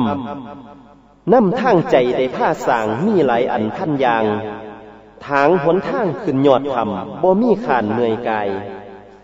มีญาติโยมพี่น้องบ้านคำคาผ้าธรรม คือหลวงปู่ฝันหันหาสืบมาจนเดียวนี้ มีของดีไว้ให้ไทยบ้านเฮารักษาเน สืบต่อไปคือสีบอแย่กุศลแน่บัดเทือเห็นแท้แล้ว ปีพศ2498 หลวงปู่ฝันอาจารย์โล ได้ปรึกษากับบรรดาญาติโยม ที่ได้มาปฏิบัติ ถือศีลภาวนา ผู้คนกระนับมือเพิ่มขึ้นเรื่อยๆศาลาโล่งถ้ำบ่มีอยู่พัก ไม่กระบอแข็งแรง ที่พักกระบอเพียงพอ สมควรแล้วที่สิสั่งศาลาโล่งถ้ำใหม่ให้ท้าวอนขึ้นกว่านี้ทั้งญาติโยมก็เห็นดี จังได้ผ้ากันรวมมือ โดยท่านหลวงปู่ได้คำนวณเอง การขนอุปกรณ์ก่อสร้างขึ้นไปเทิงวัดทำขาม เต็มไปด้วยความยากลำบากหลาย ทั้งเศร้าบานพร้อมด้วยพระลูกศิษย์พระสงฆ์สัมมเนียนซอยกัน แบกหามกันขึ้นไป เสาไม้เง่าตั้งแต่สิบสองเมตร การแบกขึ้นไปได้อย่างง่ายดายสิบอมีไผจม มาหอดมือยกเสา ท่านหลวงปู่ควบคุมเอง เสาแต่ละตนตั้งขึ้นเทิงก้อนหิน มีสันแนเง่าแนบ่ทอกัน สิบ่มีเอ็นอวย และบ่ได้แก้ไขแข็งแรง ทอกันกับฝังอยู่ในดิน สิภาษาหยังแท้คนเฮาเห็นกันอยู่ ผู้บ่เห็นแท้ๆก็ยังหูปองอกอนุโมทนาสาธุการท่านพร้อม เป็นปัจจัยทางเขตอยู่ในเขตมองนี่สินลำแห่งพระถ้ำแท้แล้วพ่อยกเสาเสร็จแล้วหอดย่ามมือแรงพวกญาติโยมก็ลงจากทำขามแต่ส่วนใหญ่ก็ข้างอยู่เพื่อสิซอยงานมือนา ย่ามกลางคืนทันหลวงปู่ฝันอาจารโล ได้ลงไปทำวัดสวดมนต์พ่อเสร็จเรียบร้อย ก็มีโยมไปพักอยู่ในถ้ำประมาณสี่คน พ่อเด็กแน่จักหน่อย พวกโยมสามสี่คนก็ได้ยินเสียงคนนับเป็นร้อย เสียงคุยกันดังก้องทำแต่ก็ฟังบ่หูเรืองบ่เห็นคนแต่เป็นเสียงคน จังได้ผ้ากันยาน นอนกันนอนบ่หลับนี่แต่จับกลุ่มฟังเสียงเงียบๆ มืออื่นเศร้ามาท่านหลวงปู่ขึ้นมาทั้งศาลาก็เลยทักโยมว่านอนโยธรรมเป็นจังไดเนี่ยโยมมือขึ้นนี่นางย่านกันเบิดขึ้นบ่ได้ยินบ่พวกเทพเขามาอนุโมทนาสาธุการนำพวกโยมสามสี่คนได้แต่แนมหนากัน หลังจากศาลาลงถ้ำได้ถูกตั้งขึ้นแบบทาวรแล้ว แล้วก็ได้มีการสร้างกุฏิที่พักของท่านหลวงปู่ฝันขึ้นใหม่พร้อมด้วยสระน้ำใหญ่อยู่หลังถ้ำขาม เพื่อเป็นที่เก็บน้ำฝนมาจนปัจจุบันนี้ นี่ละน้อพันว่าขั้นมีแห้งสัตว์ท่าคำแม่นเห็ดหยังกะมีแห้งต่อ หากแม่นใจย่อท่อบ่เห็นหม่องนอพุทโธบ่ได้โสควมเว้าเอาแต่คำหลวงปู่ว่า เพราะตอนบุญแม่นอยู่นาบ่มีลาผัดเมื่อยแห้ง แรงพาถ้ำมาช่วย ได้ขนขวยขึ้นง่ายๆ คนหลายๆแม่นเป็นลอยมาย่อขึ้นกระบ่ไป ขั้นผู้ใดอยากหูให้ไปเบิงอยู่ทำขาม หากสิเห็นองค์พระประท่านเพิ่นอยู่เหิงหลายพ่อสอแล้ว แถวบ้านค่ำคานั่นละท่านพระประท่านตั้งอยู่ก่อน เพราะหลวงปู่ได้สั่งสอน ฟังคำพ่อนสอนคำถ้ำให้พี่น้อง ทั้งลูกหลานหน่อยได้ไตตามคุณแล้วก่อนสร้างศาลาโล่งถ้ำนั้นได้เกิดปัญหาเรื่องหนึ่ง คือองค์พระประธานซึ่งเจ้าภาพจัดทรงไว้ที่บ้านค่ำคาเฮ็ดจังไดจังสิอันเซิ่อนเพิ่นขึ้นไปได้ถึงหำขามเพราะระยะเส้นทางก็ยากหลาย ท่านหลวงปู่บอกกับญาติโยม ว่าบ่ยากดอกให้ผ้ากันหลายคนหามขึ้นไปเลยฝ่ายหนึ่งให้หามองค์พระประธานฝ่ายหนึ่งให้ทางทางขึ้นไปนำผู้ทางทางให้น้ำหนา หากแม่นหาตัดทางอยู่นี่ก็อีกหามือหลวงปู่คือสิบอมีเวลา นี่ก็ใกล้ครบรอบงานประจำปี ของคณะศิษย์พระอาจารย์มันแล้ว อยู่ที่วัดสุทธาวาสเมืองสกลนคร เศร้าบ้านก็ได้พร้อมใจคือคำหลวงปู่บอก ในการยกพระประท่านขึ้นนั้น เป็นอุปสรรคอย่างหลาย เพราะกลุ่มที่ตัดทางทางทางไป ทางลาซาทาว่าพระพุทธรูปก็ยกย่อขึ้นยากอีก เพราะเขาขึ้นนั่นก็เป็นทีที่สิบอคอยลาบเป็นเนิ่นสูงสั้นเศร้าบ้านคุมแบกหามจำเป็นต้องแซงสุดทางทางไปก่อน เมื่อแซงได้ก็บุกต่อไปบ่ได้หยุด จนในที่สุดก็อันเชิญองค์พระประธาน ขึ้นไปหอดทำขามกะสำเร็จบกีสุโมง แต่นาอัศจรรย์หลาย ทุกคนปลอดภัยเบิดทุกคน แม่นว่าสิหกลมต่ำก้อนหินกะสิบอมีฟกซ้ำดำเขียวแม่แต่น้อย พระประธานประดิษฐานอยู่ทึ่งทำขามแบบสง่าเป็นทีเข้ารบบูซาของพุทธบริษัททั้งหลายตลอดมาหอดมือนี้ พอผมเอ๋ยศิลธรรมเทียงมันฟุ้งขจรทั่วทิน ขมินถ้ำอันเลิศลำได้นั่คำมันซอยสู้ นี่และคือบุญทรงอยู่ให้หลวงปู่มีเง่าแสง ได้แสดงธรรมะทั่วพื้นเมืองบานข่วมฟุ้งขจรไก่ในรถสินธรรม หลวงปู่ฝันอาจารโล ได้ขยายไปสู่สาธุส้นทั้งไก่และไก่ ตลอดจนต่างศาสตร์ต่างศาสนา ได้มาเพิงบารมีถ้ำองค์ท่านหลวงปู่ฟัน เพราะพุทธะบ่มีการแบ่งแยกส้นสันบ่แบ่งแยกศาสนา เพราะมนุษย์ทุกคนกะเป็นคนมีความสำนึกคิดอย่างเดียวกัน มีทั้งความดีความสัวหักโลภโกรธหลงก็มาจากจิต ถ้าจิตมีความพัฒนาโดยความบริสุทธิ์ คือพุทธะแล้วทุกอย่าง ย่อมโปร่งใสบริสุทธิ์ เบิงกรภิกษุทั้งหลาย หลายเทือที่เศร้าต่างศาสตร์ต่างศาสนาที่สนใจในพระพุทธศาสนา อยากได้รับความสุขสงบ เย็นสบายจิตสบายใจของพระอริยสงฆ์หลวงปู่ฝันอาจารโล หลังจากสมเด็จพระยานสังวร ได้แนะนำให้เศร้าต่างศาสตร์กราบนมัสการพระเดชพระคุณหลวงปู่ฝันอาจารโล เศร้าต่างศาสตร์ที่นับถือศาสนาพุทธหลายคน ได้รับฟังพระธรรมอันบริสุทธิ์ ที่เฮ็ดให้ซุ่มเย็นถึงจิตถึงใจ ของเศร้าต่างศาสตร์แต่ละคน แต่ละองค์ต่างอิ่มเอิบเหลื่อมใสศรัทธาในคำสอนของท่านโดยเพราะการปฏิบัติจิตภาวนาพุทโธ ผู้ที่รับฟังถึงกับเปลี่ยนศาสนา ผู้ใส่ขออุปสมบทเป็นพระภิกษุสัมมาเนนผู้ยิ่งกรรมักบวชเป็นซี่ กระถึงสิเป็นเศร้าต่างศาสตร์ต่างภาษาแบบใดกยา จิตของคนเฮาย่อมซื้อกันได้ด้วยจิต ซื้อจิตด้วยจิตดวงเดียวกันอำนาจถ้ำจิตของท่านที่ท่านได้แสดงเป็นถ้ำในหลายเทือ เพื่อซื้อถ้ำให้ซื้อเข้าใจกับเศร้าต่างศาสตร์ได้รับฟังอำนาจประหลาดอันเกิดจากกระแสเมตตาคุณกรุณาคุณพร้อมควมสามารถ สอนทำด้วยภาษาง่ายๆ ผู้รับฟังเอาเป็นประโยชน์แก่ชีวิตได้อย่างท่านที่ท่านใด คุณลักษณะพิเศษของถ้ำที่ท่านหลวงปู่ฝันอาจารย์โล ได้แก่ผู้ฟังสิเกิดความรู้สึกคือกับว่า ท่านหลวงปู่กาวขอความออกมา เพื่อตัวของเขาอย่างเจาะจงบ่เมนกาวคุ้มสำหรับบุคคลทั่วไปแม่นสิมีผู้รวมฟังประซุ่มอยู่นับเป็นลอยลอยก็ตาม แม่นปัจจัยต่างๆทั้งเบิดที่เว้าแล้ว พระเดชพระคุณหลวงปู่ฝันอาจารโล วัดป่าอุดมสมพร ซึ่งอุดมสมพร ซึ่งต้นไม้ออกดอกออกผล ใบเขียวสะอุมคือกับเป็นแบบนั้นตลอดกาล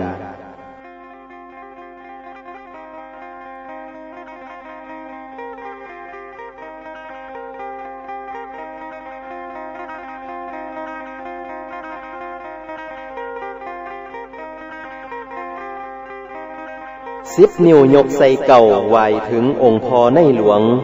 ปวงประซาได้มีสุข และอยู่เย็นส้มสื่น อีกทั้งความลาบลื่นทรงไปถึงยั่งพอว่าละไทยอันหล่นเก่าให้ขวัญมันอายุเยืนด้วยเก่าด้วยกระหม่อมขอเดชะข้าพระพุทธเจ้า ทีมงานส้มล่มพุทธอาจารโล เจ้าฟ้ามหากษัตริย์ถ้ำอันทรงคุณคา ที่มีต่อพุทธบริษัททั้งระดับสามัญชนพร้อมกับเศร้าต่างศาสตร์ต่างศาสนา พระบาทสมเด็จพระเจ้าอยู่หัว สมเด็จพระบรมมาราชินีนาถพร้อมทุ่นกระมอมเจ้าฟ้ากเสด็จพระราชดำเนิน มากราบนมัสการหลวงปู่ฝันอาจารโล ที่วัดป่าอุดมสมพรในข้าวเสด็จพระราชท่านผ่ากระถินส่วนพระองค์ ครั้งแรกปีพ่อศ2515 พระบาทสมเด็จพระเจ้าอยู่หัว พระองค์ท่านได้มีพระไทยอันเต็มไปด้วยข่วมหักข่วมห่วงใยที่มีต่อพระศกนิกรของพระองค์ ได้ส่งถามท่านหลวงปู่ฝันว่าเฮ็ดแบบใดประเทศศาสตร์ประซาส้นสิยูดีกินดีมีความสามัคคีปองดองกัน ท่านหลวงปู่ฝันอาจารโลได้ถวายความเบาว่า ให้เขาหาพระศาสนา เพราะศาสนาสอนให้คนละสัวกระทำความดีทำใจให้พองใส คนส่วนมากทำความดี คนส่วนหน่อยทำความสัวสิให้คนส่วนมากเดือดห่อนบ่เฮ็ดจังใดจังสิแก่ได้ ขอถวายพระพรทุกมือนี่คนเฮาบ่หูศาสนา จังเบียดเบียนกัน ถ้าแม่นคนเฮานึกถึงศาสนาแล้ว ก็บ่เบียดเบียนกัน มีแต่ต้องการความสุขความเจริญ คนอื่นก็คือกัน ทุกมือนี่คนเข้าใจว่า ศาสนาอยู่กับวัด อยู่ใต้ตู้ในหีบในใบล้าน อยู่กับพระพุทธเจ้า ประเทศอินเดียพุ่นละถ้าคนเฮาถือกันเป็นวิดามานดา เป็นพี่น้องเลี้ยวกัสิสบายไปมาหาสู่กันได้เพราะใจเฮาบ่มีเว้น เว้นกับบ่มีในใจ เฮามีกรรม กรรมบ่มีเฮา นี่ละให้มีพ่มวิหารธรรมอย่างท่านหลวงปู่ฝันอาจารย์โลได้เว้าออกมา อยู่ต่อมาในปีเดียวกัน สมเด็จพระนางเจ้าพระบรมราชินีนาและทุ่นกับมอมสมเด็จเจ้าฝ่าหญิงทั้งสองพระองค์ เสด็จเข้านมัสการหลวงปู่ฝันอาจารย์โล สมเด็จพระบรมราชินีนาถทรงพระราชปฏิสันฐาน กับหลวงปู่ฝันเรื่องหลักการภาวนาว่าดิสันสนใจภาวนาแล้ว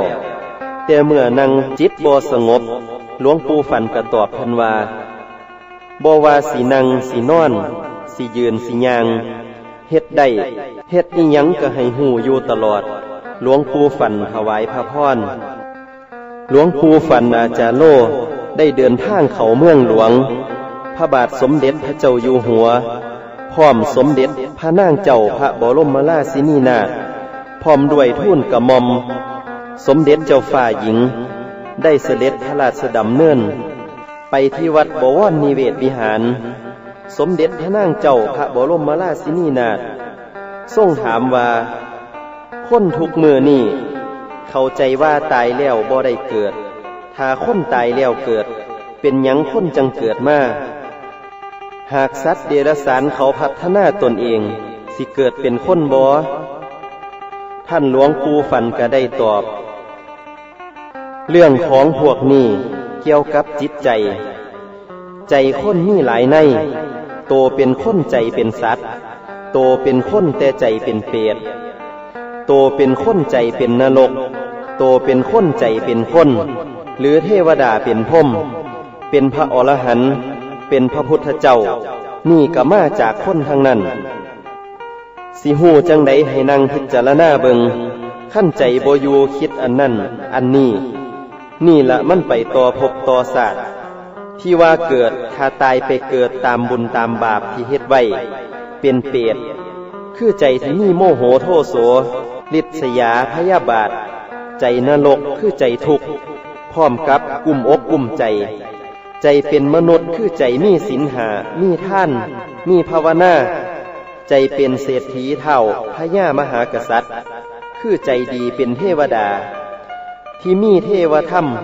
มีหิริความละอายต่อบาป โอตัปปะ ความเก่งขัวต่อบาป ใจเป็นพ่ม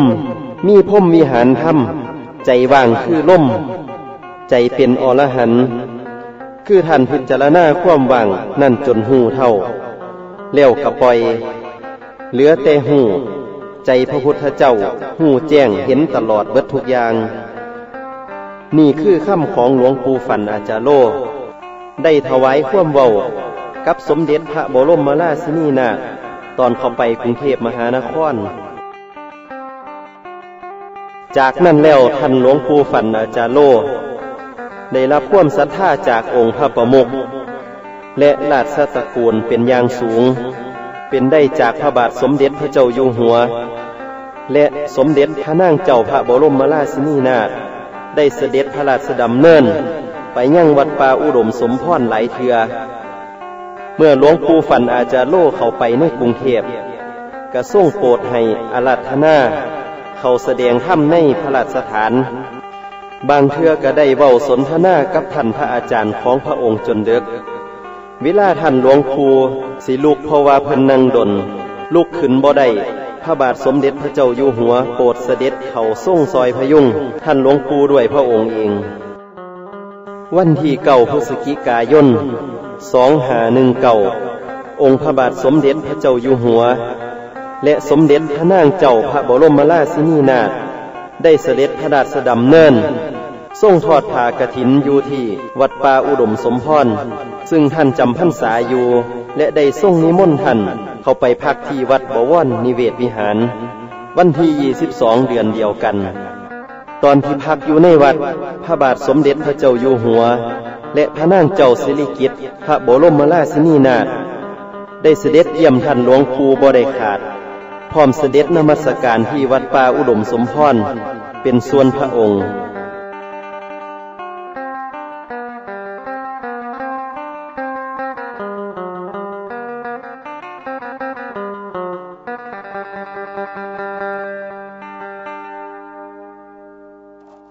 พี่น้องเอ๋ยปีศูนย์หานั่นได้กลับมาทางบ้านเกิด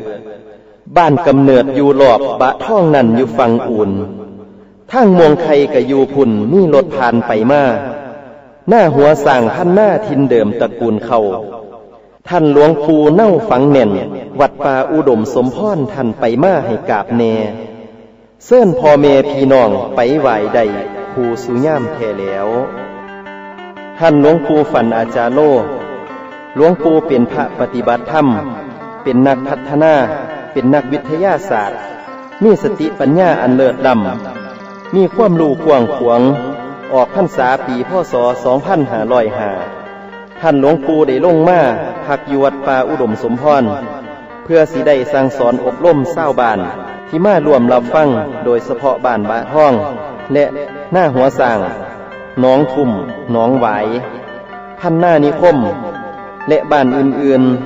ๆ หลวงปู่อยู่วัดอุดมสมพรจนหอดวาระสุดท้าย ท่านได้ดำเนินการบูรณะปฏิสังขรณ์ก่อสร้างเป็นการใหญ่ตลอดการก่อสร้างภายในวัดมากมายคือศาลาประสาสามัคคีเป็นศาลาการประเลียนที่มีขนาดใหญ่ยกขึ้นสองสันเป็นศาลาโล่งถ้ำที่โปร่งอากาศดีศาลาสันเพิ่งได้จัดเป็นสถานที่ปฏิบัติธรรมทำวัดสวดมนต์เย็นสำหรับพระภิกษุ เมซี่ อุบาสกอุบาสิกา ที่มารวมปฏิบัติธรรม โดยเฉพาะศาลาโล่งถ้ำมองนี้ ในปัจจุบัน เมื่อหอดวันครบรอบแสดงมุทิตาจิต วันไข่วันมรณภาพของท่านหลวงปู่ฝันอาจารโล ในวันขึ้นสิบหาคำเดือนมีท้องทุกปีสิทธยานุสิทธิ์พร้อมกับอุบาสกอุบาสิกาญาติโยมทั้งไก่และไก่และตลอดทั้งลูกหลานเหลนหลอน ของท่านหลวงปู่ก็ได้มาทำบุญกันเบิดสุขูสุคนศาลาโล่งถ้ำแห่งนี้ อันเกิดจากความรวมไม่รวมมือรวมแรงศรัทธาทั้งปัจจุบัจจัยทั้งไก่และไก่ และบ้านที่เป็นต้นรักวักไงก็คือ บ้านบะท่องกับบ้านหน้าหัวสร้าง และบ้านพันหน้านิคม ถ้าหากท่านได้ไปทำบุญวัดป่าอุดมสมพรแล้วให้ในศาลาสันเทิง ก็สิเห็นรูปองค์พระประธาน องค์ขนาดใหญ่ตั้งสง่าอยู่ทางทิศตะวันตก หันหน้าไปทางทิศตะวันออกใกล้ล้อมรอบยังมีรูปเหมือนท่านพระอาจารย์เสากัตตสีโล และท่านพระอาจารย์มันพุริทัตโต และที่สำคัญทางด้านหน้ายังมีหุ่นรูปเหมือนจริง ขององค์ท่านหลวงปู่ฝันอาจารย์โล ประดิษฐานอยู่ในทานังสมาธิอยู่ คือกันกับท่านยังบ่เบิดอายุ ยังอยู่คูเราลูกศิษยานุศิษย์และเราลูกหลานได้กราบไหว้สืบต่อไป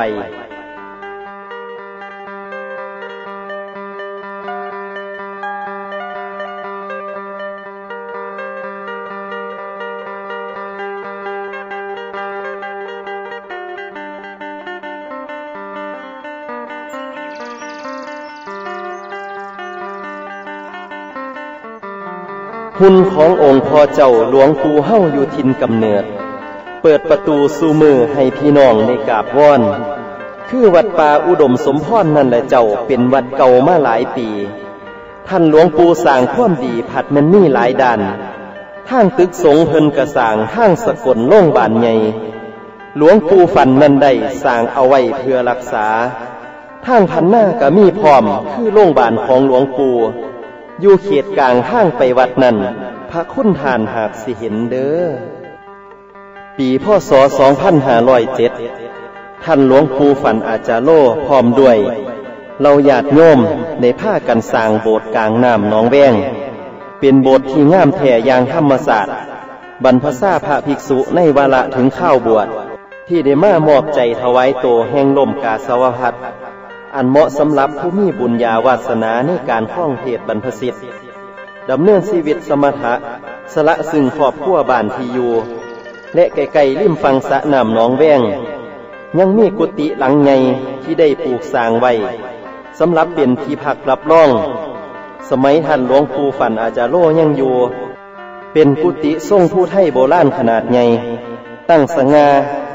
อีกยังย่องไปทางทิศเหนือ ยังมีเจดีย์ยกหลังคาขนาดกลางหาองค์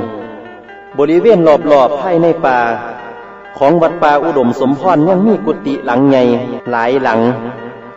มีไว้สำหรับเป็นที่รับรอง พระเทลานุเทระที่เดินทางมาพำนักอยู่ บริเวณภายนอกวัดยังมีสำนักเมซี่ รับรองญาติโยมผู้มาไฟ ลบภัยสังคมมารับรถแห่งธรรมศาสตร์อันงดงาม ในการปฏิบัติกรรมฐานพัฒนาทางด้านจิตใจ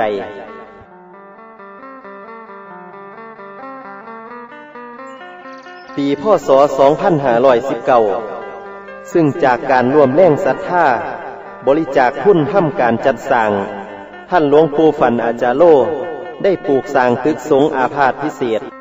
โรงพยาบาลในสกลนคร เพื่อรักษาพยาบาลแก่ผู้ที่เจ็บไข้ได้ป่วย ที่สำคัญซึ่งเป็นแหล่งแห่งการอำนวยการรักษาพยาบาลเป็นสำคัญยิ่ง คือท่านหลวงปู่ฝันอาจารโล ท่านได้สร้างโรงพยาบาลขึ้น อีกเป็นโรงพยาบาลใหญ่ในพศ 2520 เป็นโรงพยาบาลที่มีเตียงคนไข้30 เตียงในครั้งแรก โดยการอำนวยการสร้างจากกำลังผู้คน ที่ได้ศรัทธาตัวองค์ท่านหลวงปู่บางมือก็มีคนมารวมสร้างรวมพัฒนาถึง2,000คนความน่าอัศจรรย์อีกอย่าง ซึ่งแสดงให้เห็นถึงความอัศจรรย์ อันบังเกิดขึ้น อีกเหตุการณ์หนึ่งในโรงพยาบาล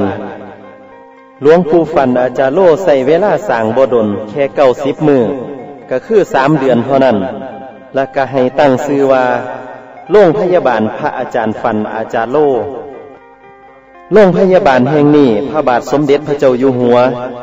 และสมเด็จพระนางเจ้าพระบรมราชินีนาถพร้อมด้วยสมเด็จพระเทพรัตนราชสุดา เจ้าฝ่ามหาจักรีสิรินทรนัทสีมาคุณากรปิยศาสตร์ สยามบรมราชกุมารีพร้อมสมเด็จพระเจ้าลูกเธอเจ้าฝ่าหญิง ทรงเสด็จพระราชดำเนิน เปิดโรงพยาบาลพระอาจารย์ฟันอาจารโล ภาพแห่งความอิ่มเอิบใจของประชาชนที่มาล่อรับเสด็จ แต่ละคนก็มีรอยยิ้มที่แสดงถึงความจงรักภักดี สายท่าล่าแห่งน้ำตาของประชาชนได้ลั่งไหลออกมาจากตา เป็นน้ำตาแห่งความจงรักภักดีอันล้นเหลือ ต่อพระมหากษัตริย์ผู้ทรงธรรม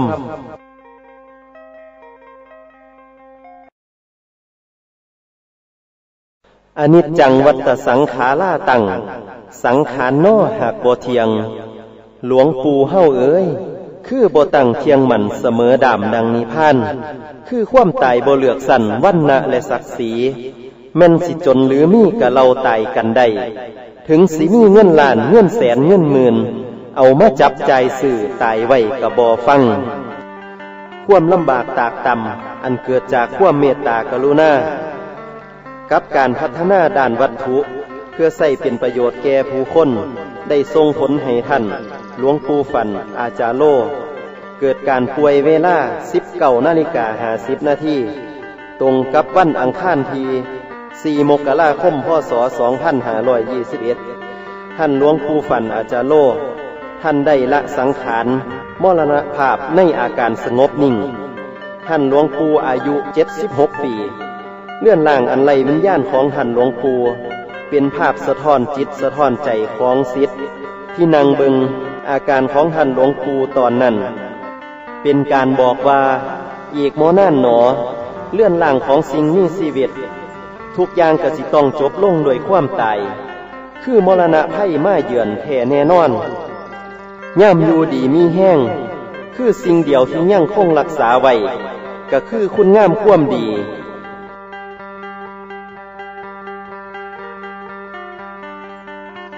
เกิดเป็นคนเอาความดีเป็นแกนกลางทางชีวิต เอาความคิดเป็นเครื่องซอยอำนวยผล เอาแห้งไกายเป็นกลไกภายในตน นี่คือคนเกิดมานี่คุณค่าราคางาม ข่าวการมรณาภาพของหลวงปู่ฝันอาจารย์โลแพร่กระจายไปอย่างรวดเร็ว ผู้คนต่างหันหนามาวัดป่าอุดมสมพรประซาส้นได้เริ่มลังไหลเข้ามาในบริเวณวัดอย่างเนื่องน่อง หลายตัวหลายคน ต่างเบิ่งหน้ากันด้วยอาการเศร้ามอง คือกันกับว่าได้สูญเสียสิ่งที่ดีที่สุดไปอีกสิ่งหนึ่งแนมเบิงต้นไม้ก็คือจังเหี่ยวแห่งไหล อยู่บริเวณวัดของหลวงปู่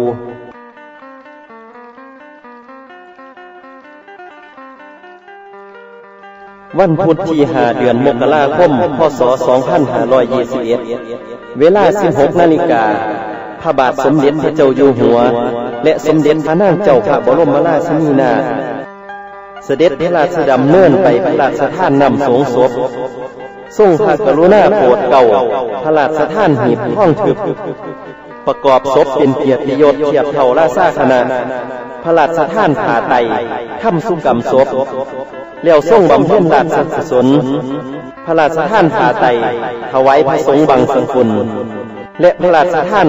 พระบรมราชานุเคราะห์มีสวดพระอภิธรรมกำหนดเจ็ดขึ้น ด้านบนศาลาการประเดียนต่างมีประชาชนกำลังรวมสงน้ำศพเป็นครั้งแรกของเมืองไทยบว่ากรณีศพของบุคคลผู้ใดก็ตามแต่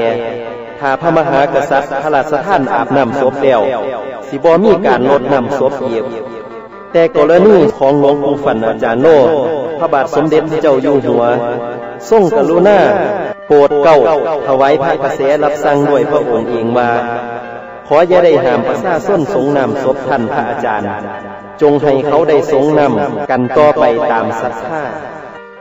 ภายในหลังจากพระบาทสมเด็จพระเจ้าอยู่หัว พร้อมด้วยพระราชวงศานุวงศ์เสด็จสงนำศพท่านพระอาจารย์ฟันอาจารย์โลเสร็จ ระบาทสมเด็จพระเจ้าอยู่หัว ได้มีพระกระแสตัดถึงพระศกนิกรของพระองค์อีกว่า ในฐานะที่เฮ้าเป็นลูกศิษย์ของพระอาจารย์ ขอให้ทุกคนได้สามัคคีกัน อย่าให้แตกข่วมสามัคคีกัน และขอให้ยึดมันในคำสอนของท่านไว้มันคง ขอให้เก็บอัฐิของท่านพระอาจารย์ไว้แห่งเดียว วันที่21มกราคมพศ2521ในตอนเศร้าประซาส้นจากหมู่บ้านต่างๆ ทั้งไก่และไก่พร้อมใจกันไปทำบุญตักบาตรพระภิกษุสัมมเนนที่มาจากทุกสารทิศซึ่งมีจำนวนหลายกว่าสองพันลูกประซาส้นต่างมีนาตา เบิกบานเจมใสทันที่เมื่อใดทำบุญ พร้อมกับการรับฟังธรรมเทศนา อันยังถึงจิตถึงใจย่างทั่วถึงกัน พระเถรานุเถระสันผู้ใหญ่ที่ได้เดินทางมารวมงานพระราชทานเพิ่งศพพระอาจารย์ฟันอาจารย์โลได้แก่สมเด็จพระอริยวงศาคาตยาน สมเด็จพระสังฆราชสกลมหาสังฆปรินายก วัดบวรนิเวศวิหารพระมหาวีระวงศ์สมเด็จพระยานสังวรวัดบวรนิเวศวิหาร สมเด็จพระมหาวีระวงศ์วัดลาดสภาติกาลาม พระเทพวราล่างการ วัดศรีสุทธาวาสจังหวัดเลย พระเทพเมธาจารย์วัดโพธิสมพรจังหวัดอุดรธานี พระศรีธรรมวงศาจารย์วัดสุทธาจินดาจังหวัดนครราชสีมา พระรัตนากรวิสุทธิ์หลวงปู่ดูลย์อตุโล จังหวัดสุรินทร์เป็นต้น ยังมีพระเถรานุเถระสหธรรมิกองค์สำคัญสำคัญศิษย์ใต้ก้นกุฏิของท่านพระอาจารย์มั่นภูริทัตโต ที่เคยธุดงค์เคียงบ่าเคียงไหล่กับองค์ท่านหลวงปู่ฝันอาจารย์โลได้มารวมบำเพ็ญกุศลพระราชทานเพลิงศพของหลวงปู่ได้แก่พระราชนิโรธลั่งสีค่ำพี่ละปัญญาจารย์ หลวงปู่เทศเทศลั่งสีวัดหินหมากเป่ง จังหวัดหนองคาย หลวงปู่บุญมาทิตะธรรมโม วัดสิริซาละวัน อุดรธานี หลวงปู่อ่อนย่านสิริ วัดปานิโคท่าล่ามอุดรธานี พระรัชกรวิสุทธ์วัดบุรพาล่ามสุริน พระอาจารย์ซามา อัจจุตโตจังหวัดเลย พระอาจารย์สิม พุทธาจาโลวัดผำผาปองจังหวัดเชียงใหม่ พระอาจารย์มหาบัวยันสัมปันโน วัดป่าบ้านตาดจังหวัดอุดรธานี พระอาจารย์สามอภินจโน วัดไตวิเวกจังหวัดสุรินทร์พระคู่วีโรดวัดพระธาตุเขาหน่อย จังหวัดลาดบุรีพระอาจารย์วันอุตตโม วัดธรรมอภัยดำรงธรรมจังหวัดสกลนคร พระอาจารย์จวนกุลเศรษโธวัดเจติยาคิรีวิหาร ผู้ถอกจังหวัดน้องไข่พระอาจารย์สิงห์ห้องวรธรรมโม วัดป่าแก้วสุมพ้นจังหวัดสกลนคร พระอาจารย์แบนธนากะโล วัดดอยธรรมเจดี จังหวัดสกลนคร พระอริยเวทีวัดป่าล่างสีปริวัน กาลสิน พระอาจารย์สมไส้ทิตตวิริโย วัดเขาสุกิม จังหวัดจันทบุรีเป็นต้นเสาร์วันที่21มกราคม พศ 2521 เวลา 10 นาฬิกา พระสงฆ์สิบรูปได้บังสกุล เจ้านาทีสำนักพระราชวังได้อัญเชิญศพหลวงปู่ฝันอาจารโลลงจากศาลาล่งถ้ำเสื่อนศพจากศาลาล่งถ้ำไปเวียนเมลุอันเสื่อนขึ้นตั้งบนจิตกาฐาน เวลา 14นาฬิกา35นาทีพระบาทสมเด็จพระเจ้าอยู่หัว พร้อมด้วยพระบาทสมเด็จพระนางเจ้า พระบรมราชินีนาถ และสมเด็จพระเทพพรัตนราชสุดา เจ้าฝ่ามหาจักรีสิลินทรได้เสด็จถึงวัดป่าอุดมสมพรปกติรถยนต์พระที่นั่งสีเขาเทียบยั่งพับผ้าทีประทับ ซึ่งจัดถวายไว้ข้างเมลุแล้วทั้งสามพระองค์ ให้ยุดรถลงตรงปากข้างเขาด้านหน้าเมลุ แล้วเสด็จโดยปราศจากลาดพระบาท ไปตามทางเขาเพื่อให้ประชาชน ที่แน่นขนาดอยู่สองขางทาง ได้เฝ้ารับเสด็จอย่างไก่สิทธิ์นับเป็นพระมหากรุณาที่คุณยางหล้นพ้นทั้งสามพระองค์ได้เสด็จขึ้นสู่เมลุทรงทอดผ่าไตพระสงฆ์สิบรูปบังสกุล พระราชทานเพิ่ง ภาพแห่งพระมหากษัตริย์ ที่ปฏิบัติต่อพระอริยสงฆ์ผู้เป็นอาจารย์ ได้ปฏิบัติต่อกันเป็นครั้งสุดท้ายคือ พระบาทสมเด็จพระเจ้าอยู่หัว และพระบาทสมเด็จพระนางเจ้าพระบรมราชินีนาถทรงลดพระองค์ลงกราบศพพระอาจารย์ฟันอาจารย์โล บนพระสุนีปูลาดที่พื้นสนามหญ้าจิตกาฐาน เป็นภาพที่ประทับใจ ประซาส้นที่เฝ้าอยู่นับแสนต่างกระสำนึกโดยทั่วกัน ว่ามีโอกาสพบเห็นได้ยากยิ่ง เวลา 18 นาฬิกาในวาระการเผาจริง ระเดชพระคุณหลวงตาพระมหาบัวยันสัมปันโน แห่งวัดป่าบ้านตาด เป็นดังภาพแห่งสร้างเกือกคูงามที่มาปฏิบัติต่อกันเป็นครั้งสุดท้าย ดังสมัยพระภิกษุครั้งพุทธกาลเป็นภาพแห่งความเป็นมงคลยิ่งสำหรับผู้พบเห็น และตลอดทั้งคืนมีพระเทลานุเทระทุกลูกและพระเน้นพร้อมด้วยผู้คนทั่วบริเวณ ต่างผ้ากันมานางเฝ้ากองเพิง นาจิตกาทันตลอดทั้งคืนจนสอดแจ้ง พี่น้องเอ๋ย คือจังฝ่าพาเปียงล่งสู่นอกกลางใจ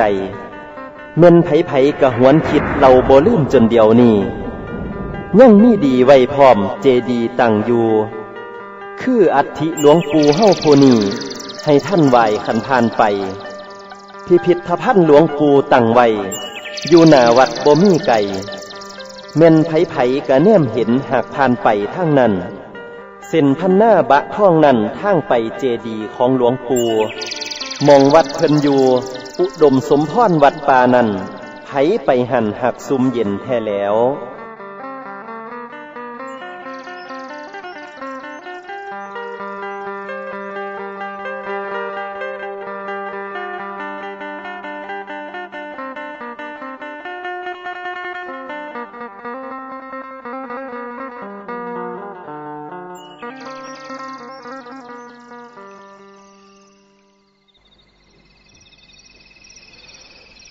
ข้าแต่พระเถระผู้เจริญ หลวงปู่ฝันอาจารย์โลโดยความเปลี่ยนไปได้ล่วงเกินประการใด ได้ถึงหับแล้วซึ่งข้าพระเจ้าทั้งหลาย ส้มล่มพุทธอาจารย์โลผู้เป็นคนพ่าน ผู้เป็นคนหลง เป็นคนบอสลาดด้วยประการใดจำเดิมแต่เกิดมาอาศัยคว่ำประมาท โดยอุบายบอแยบย่น ได้กระทำคว่ำ บ่เป็นเข้าลบในทันหลวงปู่ผู้เป็นพระมหาเถระ